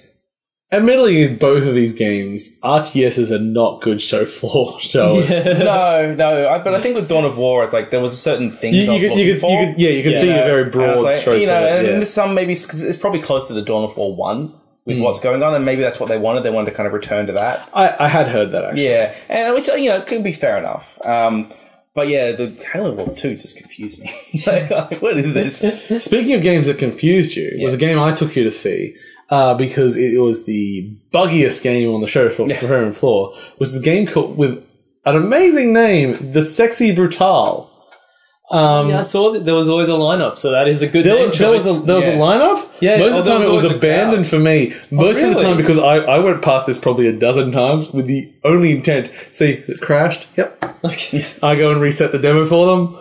It's like someone else can be disappointed. Yeah. now. Uh, not that. And, and the thing is, I actually How did you reset the demo, by the way? You had to go. You had to exit the game and then get back in. So, So you have to go back you to the say dashboard. another way of saying that would be to turn it off and back on? They're exactly right. Yeah. See, not funny, but factual. Um, um, so I actually really liked the concept, Yep. and uh, so if you did the tutorial, by the time the actual game started, it would crash. If you did just play game, there would be no explanation, so you wouldn't be able to do anything. Now, I took J- James over, I made him play, but all he really did was push the buttons I told him to do because he had no fucking idea what was going on. yeah. So I expect your playtime was terrible. Uh, Did you get anything out of it? Uh, what is I the had- what is I- the I game? swapped a well, that's what we were going to get. We'll get to that. Yeah, second. so I, I swapped a bullet out for something and apparently won, I think. Okay, so the concept of this game is that you are an elderly man who has just died. You awaken, and there is a woman made of blood who has given you a mask, and you are in this hotel where all of the staff are murderers and all of the um, guests. Guests. Uh, guests are victims. Uh, and so in this game, it, it's sort of like basically, like a more disappointing hotel than Travelodge. Yeah. um, it um, so that each level will be scenarios where a, a guest or guests are going to be killed, Yep. and your job is by replaying this on sort of a time loop system, stopping those murders from happening. Really solid idea. I'm on Really, board. it's played sort of uh, top down. It's not actual isometric, but you know, it's that sort of sort of thirty degree projection, um, and it's got an interesting thing where uh, the people can never actually see you, but everyone in this game wears various masks. Yeah. But if you go into a room where someone else is, they'll pause, the mask flies off their head and tracks you down like a fucking demon. So you got to stay one room away from everyone. Look through keyholes. You can push a button to listen to hear where they were. Exactly. Without Yeah. the without the explanation, Yeah. you have no idea what's going on. With the explanation, the game crashes. Mm. So, so um, we managed to stop the, the first death and everything, and we got to the second level, which end, ended the demo. Uh, so I think we might be the only people that completed that demo because I came with the knowledge of how to play it, yeah. and I- James it- played the mode that d- didn't have the knowledge. It had some interesting ideas. Like, it intrigued me as, yeah, as a game. and, and, and it, I, I quite like the graphical Hmm. style of it. It's sort of it just even though it was modern quality of it, it just reminded me of something like Mystic Towers and stuff like that. yeah, that. I can see that. Maybe it was just the perspective. There's a perspective did it, but also just the fact that everything was like a weird cartoony, well, not like super cartoony, but still undeniably so. Uh, that's not a great description. Slightly stylized. Yeah, yeah, yeah. I- And I really, I love time loops in games. Yeah. Um, and it just had this weird mythology to the whole thing with this like blood woman and these murderers yes, and masks. And when you save the first guy, he takes off his mask, and then that becomes one of your powers and things like that. okay. Um, so I see it being very interesting. Terrible showing. Oh, that's sad. Yeah. How long has the game been in development? No idea. First time I've ever seen it. Oh, you didn't get a chance it. to talk to anyone no, about it? no, no, was no, as far as I know, there was no dev there. There's certainly no one manning the booth and resetting it every time it crashed. I mean, I, I can't be too too hard on the crashing after my tail drift attempt. After your terrible last showing. week, trying to get there. That did not end well. no. Well, you were one of the few games that got removed from Yes, the show floor. turns out Kinect uh, plus VR didn't. Didn't work so Didn't well work on the so show well floor. the show, no, yeah. no. But it had a great showing for half an hour. I, I, I, did, I did think it was um, interesting. Everyone I interviewed after they played the tail drift setup, which, as we say, was Kinect controlled and wearing VR, everyone said, "Oh, it's amazing." I'm like, I used it. I thought it was fucking broken. Is it? What's going on? This isn't like it wasn't working properly. But I think the gimmick is just enough. As long as it's a few minutes, they love it. yeah. Yeah, yeah, yeah. um, nothing against the game, but it was broken in that sense. Oh, I will be Yeah. first to admit it. That's all. exactly, exactly. Um, What okay, was the game we played together? The co-op puzzle game? Death Squared, Death Squared. That's what it was. uh, which is a game I've been following for a while. it It's was fun. it's very fun. It's a puzzle game, but it's solved cooperatively. And it's just basically moving moving through environments. You're both big blocks, which in recent times they've added faces to all the blocks. Oh, So, so you can change, character. you can, or you can change those faces, get different skins and stuff. Yeah, yeah. Uh, so you know, it's, it's just geometric puzzles, color based, like Yeah. Yeah. lasers and buttons and moving platforms and all that sort of stuff. Uh, it's not just two player; it's up to four player, uh, and the puzzles scale to that. Ooh, uh, and I, would be very interesting, actually. I, I liked going past several times just to watch um, different groups Mm. how they solve things, and the dev was there pretty much constantly. Yeah. So um, that was good to see. And we've got we've got a copy of it, so we'll go have a play we with go. Uh, it. it, was fun. I really enjoyed it. I thought the best moments came when we accidentally stopped playing cooperatively because, like, you'd you'd very easily bump into the other block and just send them off the. And it was a good Yeah, example platform. of us. Uh, there was one point where you moved to a block and Yeah, a we- spike came down. we and we're broke like, the game. We're like, I'm sure that's supposed to kill you, but oh well, it's helping us solve the puzzle and you're not dead. And he was there and said, Yep, that's supposed to kill you. Oh, writing down on a notepad. Yeah, yeah, To yeah. fair, to to be fair, we did learn that like uh, certain color matchups meant it was safe. Like I think you were playing the blue character, which meant you were safe Yeah, with yeah, blue yeah. lasers. So just me, I'm like, it's a red spike. I'm good because I'm the red guy. Yeah. yeah, yeah, yeah. Um, incorrect, just not. Yeah. I, I, that that is one of the things I loved, especially when I was talking about Lucas Pope before, because these games are still games that are in development. They've tried to put together a little build that'll show up PAX and everything. Oh, and sometimes it might just be the game and it stops at a certain point. Not nearly everything is still in development, and so this is not just talking and showing the game. You're getting valuable player feedback from watching people play. Sometimes it's just straight up design. Sometimes it's bugs that are going there. And but because most of the time, especially in the indie section, the dev is standing right there. Mm. It, it's it's not like early access where someone goes, "This is a broken piece of shit." They go, "Oh," and the dev comes over and you talk about it, and they make a note. And, Yeah, well, they're, they're, that's some of the best playtests you're going to get. and they can and they feedback they're getting contextualize it. Yeah. Like so, you, you never have someone really going on about like. like I- okay, there was sure- one game that was broken. I'm sure shit, if, if whatever they, they, the stopwatch game was, if, sexy brutale. yeah, yeah, if that developer was there, we would have had Oh, it would I- a very different experience. I bet, and I bet I would have had a great conversation. Yeah. Maybe they were there and they were just sick of the broken generator. They were hiding. They're like, it fucking worked at home every time. It just shows the save icon and then it just stops taking input. And they just went and drunk at the shipbuilders, um, which is fair enough. Yeah, that's Um, tradition. The Artful Escape of Francis one more Vendetti. I actually do have to go soon. What? you- You gotta go. Yeah, yeah. But we haven't hit our time yet. We're getting close. All It's right. okay. We'll do a we'll do a, a, a, a special edition of the pod without James. We haven't even got to the games we've been playing this week. well, well, you guys quickly go, and then like if James The- has- No, no, no. Keep The Artful Escape of Francis Vendetti, uh, which we saw a while ago, is a side side scrolling. Uh, it's a very basic platformer on the whole. Uh, basically, think of it as a David Bowie concept album. Yep. Uh, and you, yeah, the whole game is very musically based. So you're just running left to right. One point you're snowboarding. You come against a giant creature, in which case you'll pull out a, s- a stage out of holographic stage out of nowhere and communicate to it through music. You pull out your guitar, and the face buttons become musical notes. But what started selling it for me because the platforming and, and that boss encounter was basically a Simon Says thing, which while they, they did make it feel good, Simon Says has limited gameplay interest. Uh, the things that I really liked was when you did like a double jump, you'd pull out the guitar, and you'd start like playing. Well, you'd, you'd basically you'd, you'd do like a chord, and then you'd start sort of jamming on top. So that would often I would time it to be with the background music. But the best part was that the game is programmed as such that you can pull out the guitar for the boss battle at any time, uh, and the notes at any one time match the note range of the background music Ah, so it feels like you and kind you can actually you can actually around with play, it. Oh, yeah, you can play it like it, which I think is very basically important Wii for music. yeah, yeah, to, to a degree. Oh no, well, Wii Music was just move, moving a thing. Yeah. This is you still have to play the note. Okay. Yeah. Ah, but it just seems with the range of the. yeah, yeah, it's just like yeah, if it's G, the notes will only be G. It's like okay, yeah, yeah. It, will be in the same scale as what's Yeah. being played. Um, it's still completely player controlled, Mm. which is great. And uh, one of the things that we were talking about was trying to give people the the, the, the little after touch. And uh, obviously, the main guy's a musician because that's why be so music based. Yeah. And we were talking about um, Guitar Hero. Mm-hmm. And I said, okay, on your guitar, do you own a whammy bar? He goes, well, I own one. I go, How often have you ever touched it? Yeah, like I own Yeah. a fucking whammy bar. I've used it like twice. Yeah. Um, because whammy bars are awful most of the time. In Guitar Hero, I use that motherfucking thing constantly. One thing, because at least in some versions, you could actually like it actually gave you some extra there was points. like a mode for yeah, like whatever. but most of the time, it's just because it's the one time you can put your own signature Yeah. on it.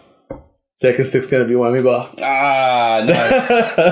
nice. That's not for me. You'd already thought of Yeah, it. yeah. yeah, yeah, I'm not- But I was just like, that's Yeah. that's the kind of thing I want because it's, it's a beautiful game. It's actually one of the more beautiful games on the show floor.